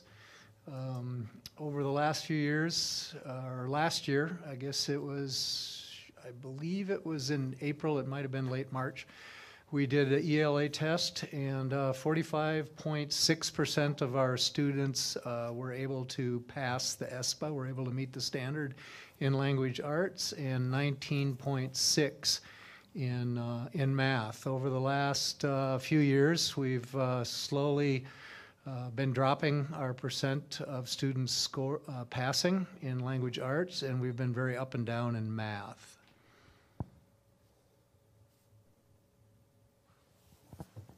This is a little bit of a disaggregated disaggregated student data. It shows primarily the difference between our white and our Hispanic students. Now, obviously, our school is much more diverse than just white and Hispanic, but the state of Washington um, suppresses the data on any student group of under 30 individuals. And it's a matter of privacy. If there was uh, just a couple of people in one demographic group and they put out their test scores, it'd be pretty easy to divine uh, who that student was, and that would be a, a, a pretty big violation of trust, I think. But uh, in general, it does show that our Hispanic students lag behind our white students by uh, about 30% in ELA and what is that, about 30, 35% in math. We also have uh, a little bit of gender disparity, a little, little less than uh, ethnic disparity, but in gender disparity, we're running just under 40% of our males passing ELA and uh, 53 uh, and a little bit over um, for the females. So we have about a uh, 13, 14% difference there. And in math, it's a little closer, 17.4 to 22.6. Um, I guess I should have had Scott do that so he could do the math quicker. But I'm counting on my fingers under the table, sorry. Um, but we do have uh, a bit of a disparity there. So the next slide is uh, what are we doing? So there are several things that we're working on at Othello High School. Uh, one of the things we started last year is called the Attendance Challenge. At the end, end of each quarter, what we do is we offer a pizza party for the class, so freshmen, sophomore, junior, seniors, that have the best attendance for that um, that uh, nine-week period. And uh, what we've seen over the last three years is we've seen an increase of a little over 2% from approximately 91.5% to approximately 93.5% currently. And so what we're trying to do is to make sure that our students are aware that we want them at school, we want them there every single day. Um, being in a classroom makes it a lot easier for our students to um, to learn, obviously, and to so that we can challenge them for the next step of their of their career, whether it's in the high school, uh, the following year, or college, or for work. Uh, the next thing that we're doing is called end of semester interventions, and we have done this two years in a row.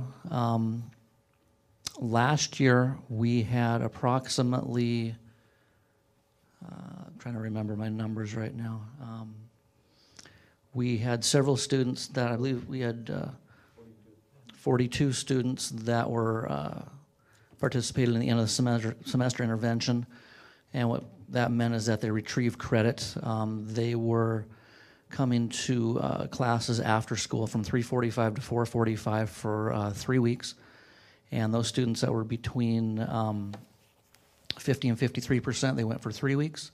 54 to 56 percent, they were there for two weeks, and from uh, 50 above 56 percent, they were there for one week.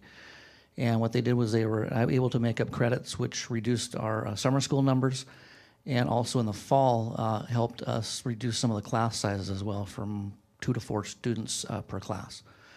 Um, this year we ended up with, I believe, 84 students that completed that. So there were 42, 42 credits that those students were able to recover. Um, again, for a second year in a row, we've started an after-school intervention. We also have that uh, before school as well. Um, last year, we had 13 students that um, that were participated in that program, and um, we had 33% of those students that did very, very well. And that was kind of leading into the uh, SBA interventions as well. Is that um, overall we had uh, just a little under, well, right around 20% for math, and again, 33% of those students that um, participated last year uh, were actually able to pass the, the math uh, assessment. This year we started that tonight, and we had, I believe, uh, eight students uh, participate in that. Um, that's Monday through Thursday. We have a morning session, 7:30 to 8:30. Uh, we have four students signed up for that, and we're continually calling parents and talking to students to try to up those numbers. Uh, my goal for this year was to try to reach 20 to 25 students. And if we have the same results or better than last year, that's going to produce obviously higher numbers for our math SBA. Um, we also have summer school. And again, depending on how many students that we have that complete the uh, after school uh, interventions, end of, end of semester interventions, um, we have anywhere from 125 to approximately 150 students at the high school level. Um, another uh, program that we have is called can, can I pause you for a minute? So um, the end of semester interventions, you talked about the credit retrieval, and so I think that that's a great idea. How and what are you doing to increase? So you increased a little bit mm-hmm. from year one to year two. What and how are you going to do to increase that uh, the next time that that's an option? Okay. So we've so and is that only middle of the year because end of the year they'd have to go to summer school, right? right. That's the only option. Right. Okay, so yeah, what's the plan to increase those numbers? So in, to increase those numbers, we um, we meet with the students, it's, whether it's uh, administration or the counselors or even teachers as well, and um, what we do is we provide an F list each teacher uh, every Monday, and so they have their opportunity to be able to talk with those with those students uh, all semester long. So that way, the students aren't left in the dark until it's too late. Some of those students um, they make it up into the 60s, so that way they actually pass the class. Some of the students, when we start talking to them, are in the 40s, and so they increase up to the 50 percentiles, so that way they can participate in that program. So, a lot of one-on-one meetings with students. Um, we also call some of our parents as well, um, trying to make sure that they're aware of it. Um, we also, with those students that we've identified that are failing or have failed that class, We, um, we also mail home letters as well, so we're trying to increase that. So of those options, which one it has have you found to be the most successful to get students there? The parent, the letter home, I mean the parent call, the teacher talking to the student. Have you checked into that? As far as the, the overall effect, no, but I, I think it's, it's the, the, the, the teachers talking to the students individually um, that they have in those classes and, and just meeting with them. Um, they have the best opportunity and the easiest opportunity for, for that, that contact with, uh, with the students. Okay. Um, we do have Avid, and within our Avid program, twice a week, no matter whether it's uh, freshmen, juniors, sophomores, or our seniors, um, they have uh, tutorials twice a week, and usually it's in math, and so they have a very specific method in how they do that.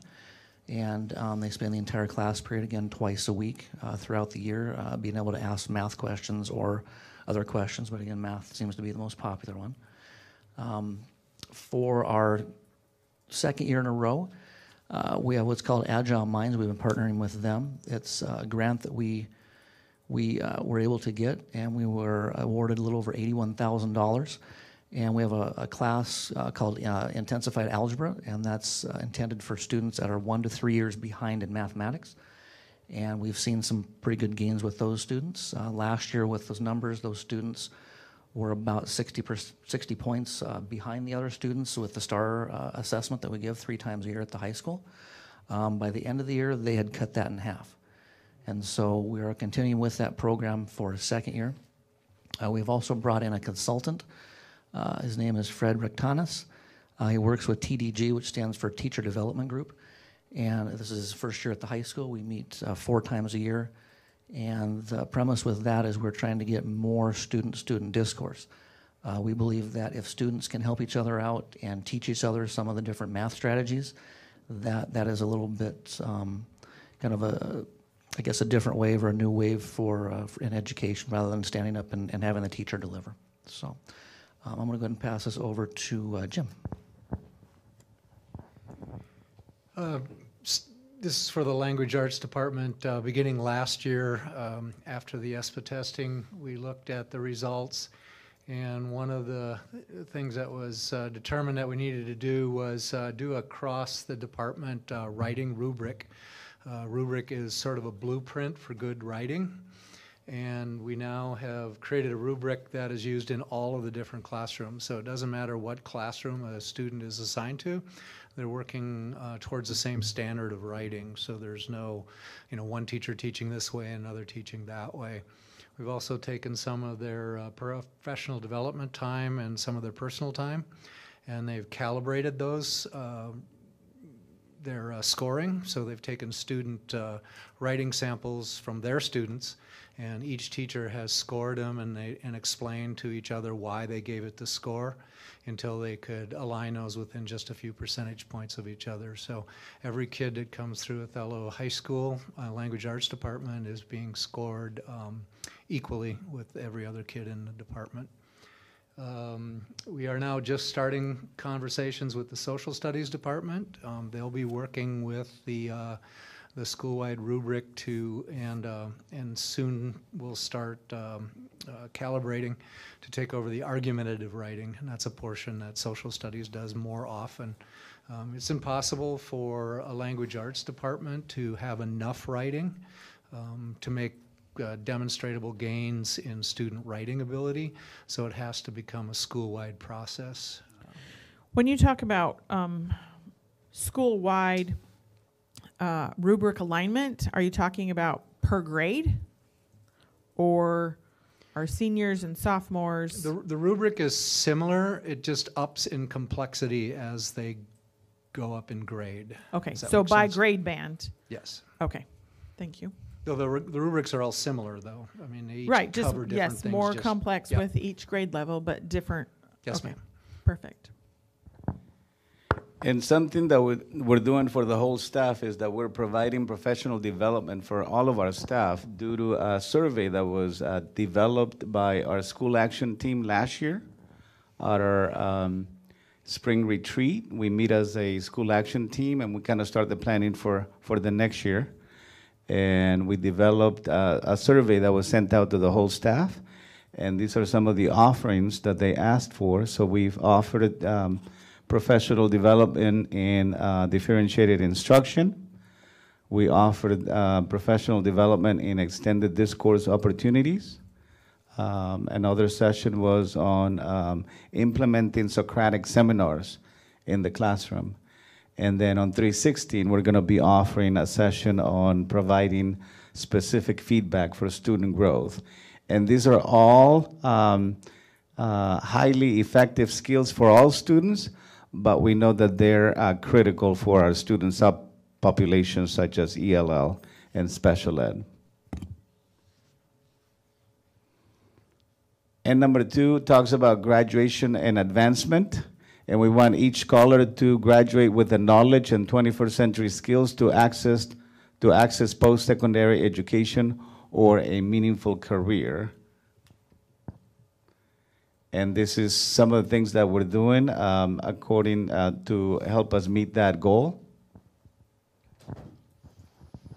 Two years ago, we were introduced to PBL or project-based learning, and uh, we had uh, uh, 16% of our, our teachers were trained in the summer of 2018, which was cohort one. Uh, from those teachers, we had 43% of our students that uh, participated in um, in a PBL project. Uh, we just got the numbers here uh, in in the fall, and we had 89% of those students that passed or did very very well on their project according to their rubric.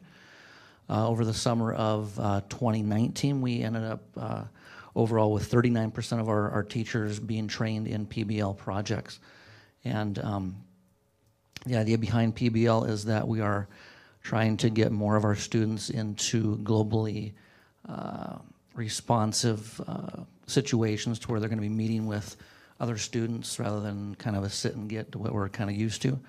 Um, we need to make sure that our students are more adept to um, uh, talking with each other and more and more student discourse.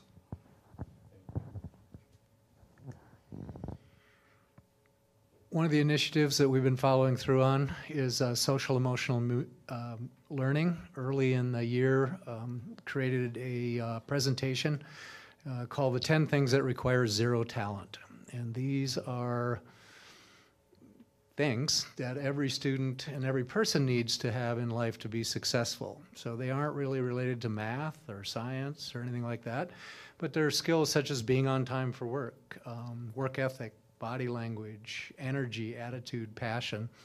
And so we gave a brief, brief overview of those 10 things, and now every month we're uh, focusing on uh, one of those areas with a uh, short lesson plan, um, often including a video or a reading or a discussion. Um, so students get a chance to um, participate in some uh, student-to-student discourse revolving around those uh, things and their meaning to them. We also uh, have begun restorative practices. Um, generally, restorative practices are uh, designed to keep students part of the community instead of separating them from the community. So the goal is to keep students inclusive instead of exclusive. You mean like if there's a behavior issue or a, a discipline issue? Right around behavior and discipline issues, yes. Okay.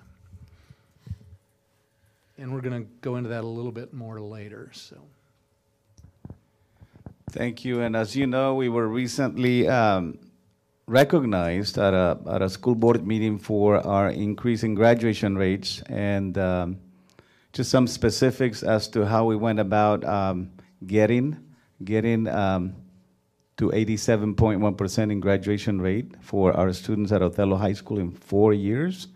We have the program uh, that we call um, Adopt a Senior, where uh, seniors who are in peril they get paired up with a, uh, a staff member that they trust. And uh, that staff member then is asked to counsel the student, to guide the student, to, to give a scolding to the student if that's what's needed, but uh, to get him to cross the, uh, the finish line. We also continue to work on relationships, and I think that Adopt a Senior program is a, is a good testament of the, the relationships and the cashing in of those relationships that have been developed for the last four years. Um, we also have what we call uh, senior ranking meetings, where the counselors and administration sit in the conference room, and the counselors each have a caseload of seniors who are slated to graduate uh, this year, and we look at where they are, uh, what they need to be able to graduate. Did they fail any classes first semester? What interventions do we have for them? What can we do? I also, from the F list, I meet personally with all of the seniors who are failing, who are showing up on that F list. And then um, when we have to, um, we meet with parents, uh, especially early on, when uh, there are some students who are really in peril of not uh, reaching that, um, that goal of graduation. We meet with the parents early on and we let them know this is exactly what needs to happen for your child to be able to graduate.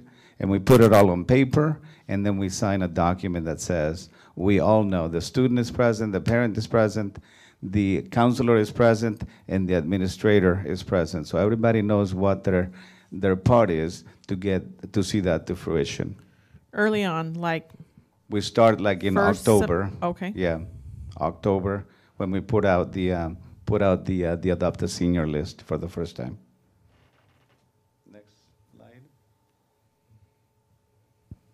A little bit more just about uh, the PBL um, process. So PBL again, project-based learning, this is our gold standard. We have a lot of our teachers that already have uh, projects built into their curriculum, but when we were introduced to PBL, we wanted to make sure that we followed this design. Uh, first of all, uh, if they didn't have one, then we, they would be, the teacher would be designing and planning their project. Uh, we want to, we'd want to make sure that they're aligned to the current standards. Um, then what we're going to do is to try to build that culture within the classroom, which again is a lot different than kind of standing and delivering. And again, we're trying to get more student-student interaction, student-student discourse, trying to get them more on a, on a global level uh, for some of the things they're going to be seeing outside of high school. Um, then the students, what they do is they start uh, organizing their activities, putting their ideas together. Um, it's a great way to scaffold student learning because we have all kinds of different uh, learning levels within the same classroom. Um, towards the end, uh, well, I shouldn't say towards the end, all the way through the project, the teacher is assessing students. Students also will assess each other, whether it's within their groups or uh, different groups. And the, uh, the teacher and the students are always encouraged to help each other out and coach each other through the, through the PBL project.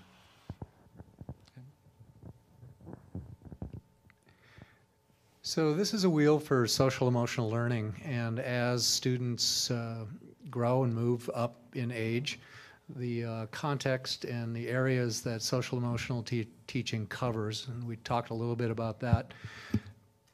By the time we get up into the high school, we're looking at self-awareness, self-management, responsible des- decision-making, uh, relationship skills, and social emotion or social awareness. So we're broadening it from that uh, younger controlling your emotions and that. We still work on that, but we're also looking at bigger picture post-graduation skills. Next slide. So this is a uh, there's a there's not a firewall between social emotional learning and restorative practices. They they sort of go hand in hand. And this is a bef- behavior reflection uh, tool that I developed um, a number of years ago. And I use it um, in conferences and small groups with students. And so the, uh, the behavior in question sort of goes in the middle. Um, one of the primary beliefs in restorative practices that students' behavior is not a reflection of who they are, but a reflection of what's happened to them. And so when, beha- when an inappropriate behavior happens, we have to go back a step and find out why that behavior happened. And so the first question, if you believe in restorative practices, the first, ask, first question has to be, what happened to you? And so the student has to become aware of that and be able to define it and articulate it. Um, and that's sort of the arrows in. And then uh, the arrows out are the consequences of my behavior. And that necess- doesn't necessarily mean um, the punishment for my behavior. Consequences and punishment, I think, often shouldn't go hand in hand. Consequences are quite different than punishment often. And so once the student decide, learns why they behave that way and what the behavior was, then they start to have to look at how does that behavior make them feel? What are they getting out of it? Um, how is how does my behavior affect others? What harm did I cause? And then uh, other consequences, and that including including the uh, student coming up with an idea of how they can repair that harm. And so that can be a, a number of interventions there. Sometimes it's a, a letter of apology. Sometimes it's a personal sit down. Um, just a variety of those things. And all this is done in an effort to keep the student from being excluded from the classroom or even excluded from the school. Thank you. Uh, Once again, uh, just to celebrate our graduation rates steadily um, going up, and uh, even more proud of the fact, if you go to the next slide, that um, we have closed that graduation gap. And if you look at that um, uh, graph, you have um, the light green, blue, uh, that would be representative of the, uh, the Hispanic population at Othello High School. And then the, uh, the kind of pinkish color is the, uh, the white population um, at Othello High School. And noteworthy of saying is that both populations are increasing in their graduation uh, rates. If you look at the lines in 2014, and the white student population at Othello High School was graduating at a rate of 87%, and our Hispanic population back then in 2014 was graduating at a rate of 67%. So we have closed, um, almost closed that gap. Uh, there's a little bit of a gap also with the, uh, the females and the males that we're working on, on also uh, closing. And, and we're doing that as a staff, one student at a time, and it's a concerted effort of everybody involved. The and the parents at the home, uh, the students at our school, and of course the staff every day getting it done in their classrooms. And three uh, talks about personal responsibility and citizenship, where each student has the knowledge and takes responsibility for his or her academic success. Next slide. And Mr. Schwartz is in charge of attendance. So as we see right there on, on the top graph where it says federal race and ethnicity, we can see that we have been steadily increasing uh, our average uh, attendance at Othello High School. Um, by definition, through OSPI, uh, this, this data comes for if students have two or more absences per month, um, and that includes uh, excused and unexcused absences. Uh, if you look at last year's attendance, we actually uh, were above the state average by a little over 3%. So again, encouraging students uh, with the attendance challenge, uh, talking with students in the hallways, um, a lot of different things, trying to build relationships with students, letting them know that we want them in school. The old saying goes, um, if you miss school, then you miss out, and we're trying to make sure we get every student accounted for. So under that realm, if a student misses more than two days, they're a no s- for OSPIs. Correct. Then they take that over the year, or and then they take every month. How how does this become a yes or a no? Like if I miss three one month and two the next, and then one over the year. Over- over- over the school Okay, year. I see. Okay, thank you. Next slide. And um, to end, we did a little comparison in discipline data between um, last year and this school year. Um, noteworthy of mentioning is the fact that we have seen a, a large increase in our gang activity um, offenses at Othello High School. And we deduce, we surmise that that also brought um, an increase in, in, in drug offenses, an increase in fighting, and also an increase in um, HIV uh, reports and offenses. What does HIB stand for? Um, harassment, intimidation, and bullying. Thank you. Mhm. I heard HIV. Sorry. HIV. Other things that were already on the mind, Sorry. so I was really confused. Gotcha. Thank you. This is a one-page sample of uh, a four-page uh, discipline matrix. We go uh, level one through level four. Level one are generally uh, behavior infractions that a teacher would take care of in their own classroom, minor infractions. And level four is infractions that we would most certainly call law enforcement in on. So I wanted to pick something sort of in the middle to, to show how we have a, uh progressive discipline policy. Um, depending on the severity and the, the issue at hand, uh, there'd be a number of interventions. The first one would be um, a refocus, uh, an evening school, and that becomes progressively more, and a restorative action, sorry. And then intervention two and intervention three would pro- progress. Um, by the time we get to four, we'd be considering either extended evening school or an out of school suspension. Um, so it takes quite a bit to get to that point. Could you give us an example of a restorative action? It says refocus evening school one to three days for intervention one and assign a restorative action. I can. So just the other day, I had a teacher that reported um, a student had uh, pulled a, a young woman's hair, and later in the class period, the student had uh, hit the uh, the other student in the back, and so they were brought into the office, um, separate separate, um, and I talked to uh, each student individually, and uh, I talked to the boy, and I said, the young man, I said, you're, you're like in 10th grade, you're pulling hair. And he said, oh, I don't know what to do, I don't know what to say. And I was like, well, say the truth. And he said, somebody threw something and it got stuck in her hair and she didn't notice it and no one told her. So I took it out of her hair. Well, later that day, or a few minutes later, I talked to the girl, sort of a debriefing, and I said, Why did you hit this kid?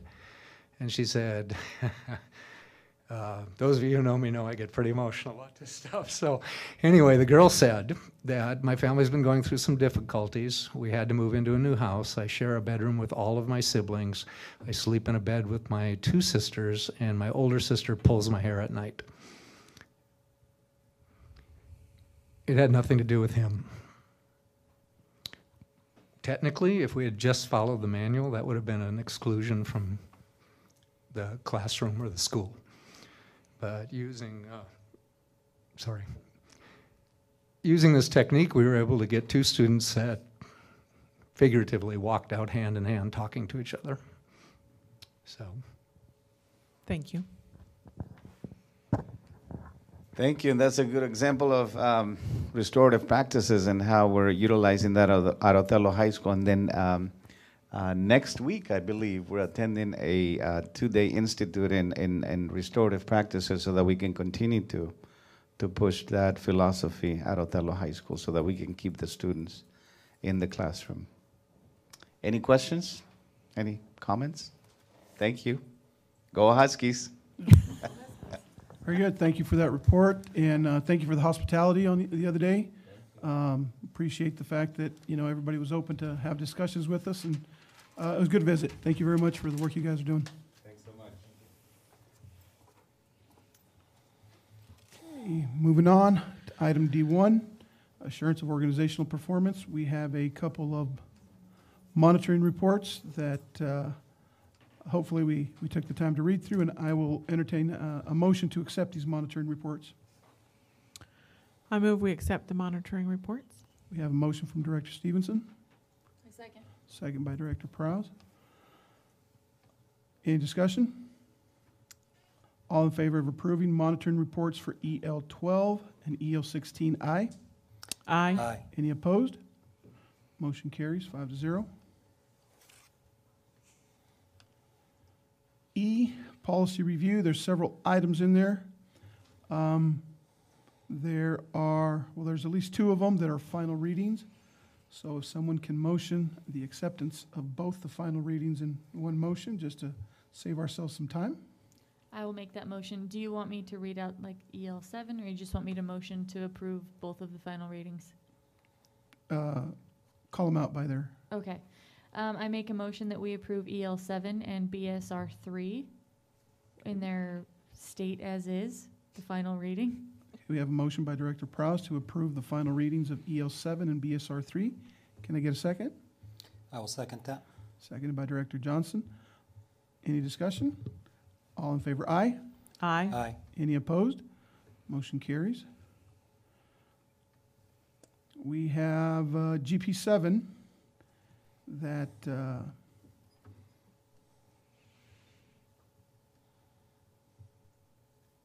is the first reading. And in it, under required approvals, we'll see in the red, um, a change that needs to happen to this GP to be able to approve the other. Uh, Basically, we would be removing uh, the monitoring reports, re- response documents from this section of this GP to be able to have it in required approvals. Or it's, am I reading it incorrectly? It's coming out of, Yeah, I think you're right, the way you said it. Okay. Yeah, it Yes. goes right into required Needs to approvals instead. okay. So I'll entertain a motion to approve those changes. But we can't, well, so typically in the past, we haven't approved it when it's revised. We've said whether we're all happy with the state that it's in, and then we, it comes back next time as a final reading, correct? I don't know. I thought it was just Is this, a done because it says revised, but I think that this is a first reading, and we don't typically do it Okay. off of the first reading. No problem. It'll come back next week as a final reading. If we're all happy with the new wording, I'm great with it. Yeah. Yeah, I think we did. We, that's what we want to happen. The intent was to be able to modify the other. Right, Sharon, or, I, we've all nodded our heads and, okay, sorry, I just, Okay, that will be in our, uh, ne- at our next board meeting as a final reading. GP seven point two.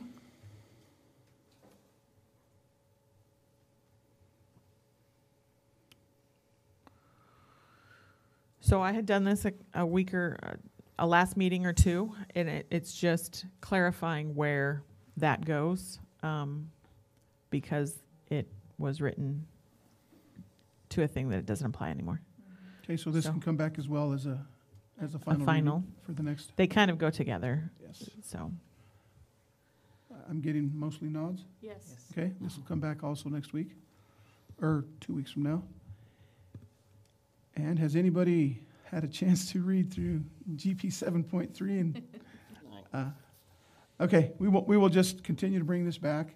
Uh, I am, I mean, one of the things that, and I think I mentioned this last time, it, it is under the process at the meeting, the fourth bulletin, where, uh, the board limits the time devoted to all public comments to thirty minutes. I'm trying to somehow,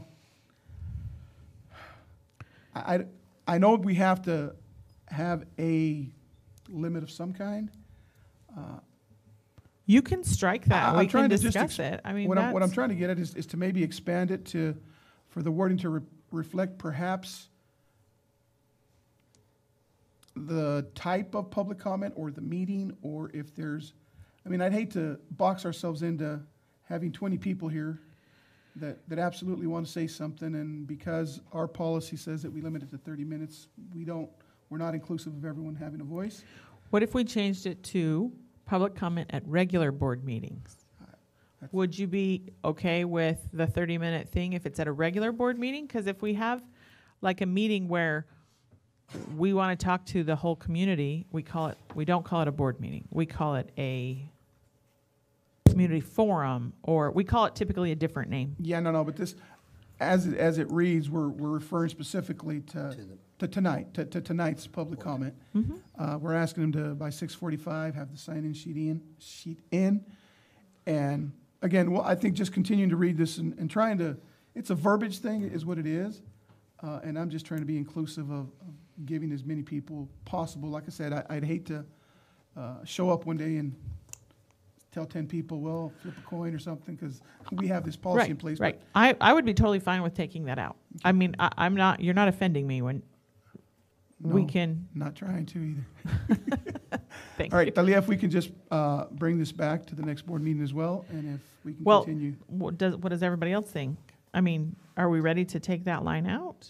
Or do we I- need to discuss, I'm think ready more? to take that line out, and then also I haven't questioned that on the part where it says to have them in by 6:45, tonight's a good example that wasn't going to work very well. No, well. it says a sign-up sheet is available usually by six forty-five. Not that they have to be in. Okay. That the sign-up sheet is usually out by that time.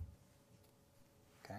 Does it change the time when the comments are given? It doesn't address that. Okay, so are we, are we in agreement then that we can strike the, the- the bullet with the 30-minute Yes. limit? Yes. Okay, that- that- that's one change there. If there are any others that you want explored or talked about, please let Talia know. And uh, it'll stay there till we can come to consensus as to exactly what we want. But with that line striked. That- For next be at time. least So that one- revised. at least Instead of the first reading. That not Right. be there. All right. I, I need to go back just on one, and I know we already approved it, but the question's going to come up later tonight under our Survey Monkey.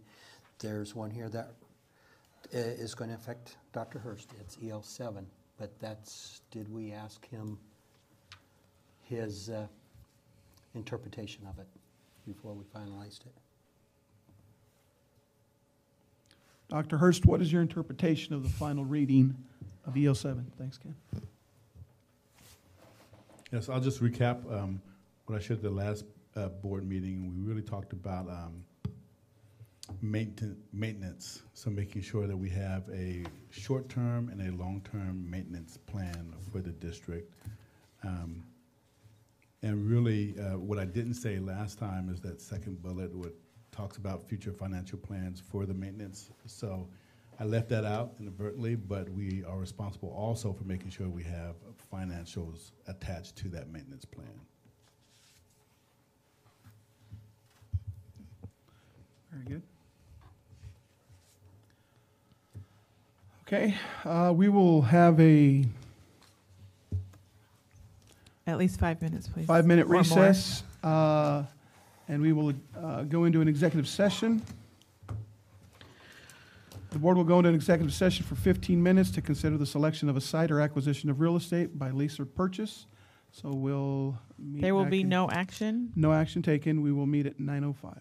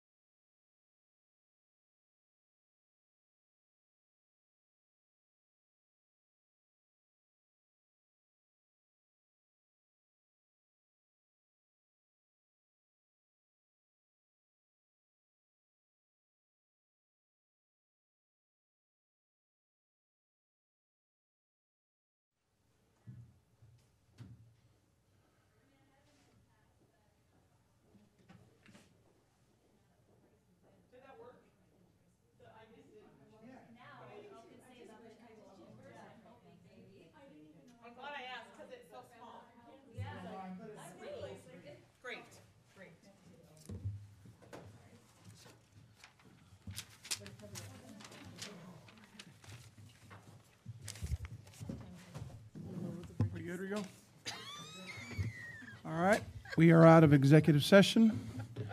Moving on to our meeting, item G1. Uh, We have a uh, public, uh, upcoming events, uh, several on there. Uh, March 10th, there's a pre- pre-festival band and choir concert, MMS at 7. The 14th, drill team is at Districts. The 17th, audit entrance meeting. Uh, Location says to be determined. Will it not be here, Chris?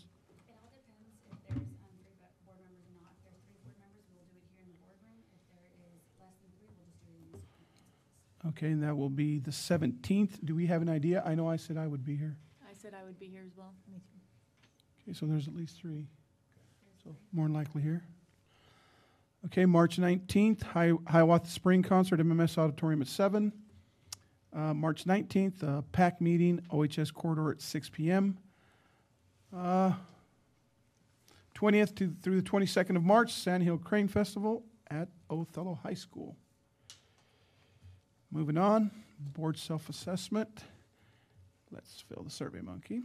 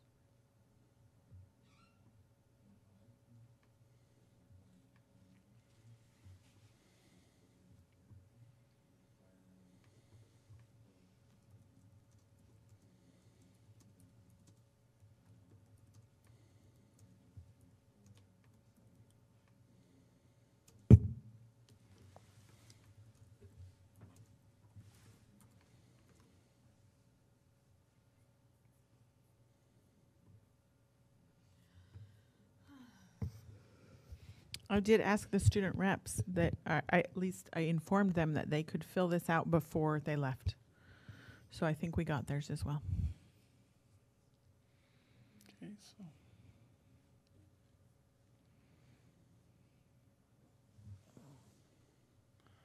All right, there's seven responses.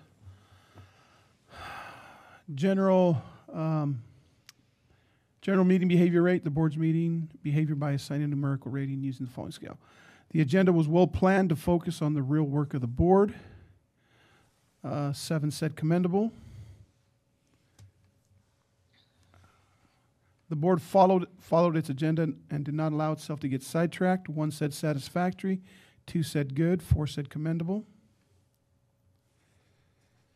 The board's deliberations and decision-making processes were public. Seven said commendable. All board members participated in discussion, no one dominated. One said satisfactory, two said good, and four said commendable. Members listened attentively, avoiding side conversations. One said good, six said commendable. Um, governance principles review. Board actions occurred at a policy level rather than an operational level. Seven said yes. The board agenda referenced uh, policy topic about referenced policy about each topic that was discussed. Uh, six said yes. One said not applicable. The board chair helped the board efficiently conduct its meetings. Seven said yes. The board supported the superintendent in any reasonable interpretation of policies. Five said yes, two said not applicable. We think, I think I know who the two not applicable were. They're not here, think. Um, Newer modified policies. There's uh, a comment there. Oh, I'm sorry. Okay, I'm the board, jumping. the board started, started with a broad statement and became more detailed in a logical and disciplined sequence. Four said yes, three said not applicable. The board asked the superintendent to provide his reasonable interpretation of the policy. Six said yes, one said not applicable. Thank you, Ken, for making sure we are following our policies. Yes, thank you very much, Ken. So overall, uh, we had two said it was a good meeting, four said it was commendable. Uh, Having concluded all our business, this meeting's adjourned.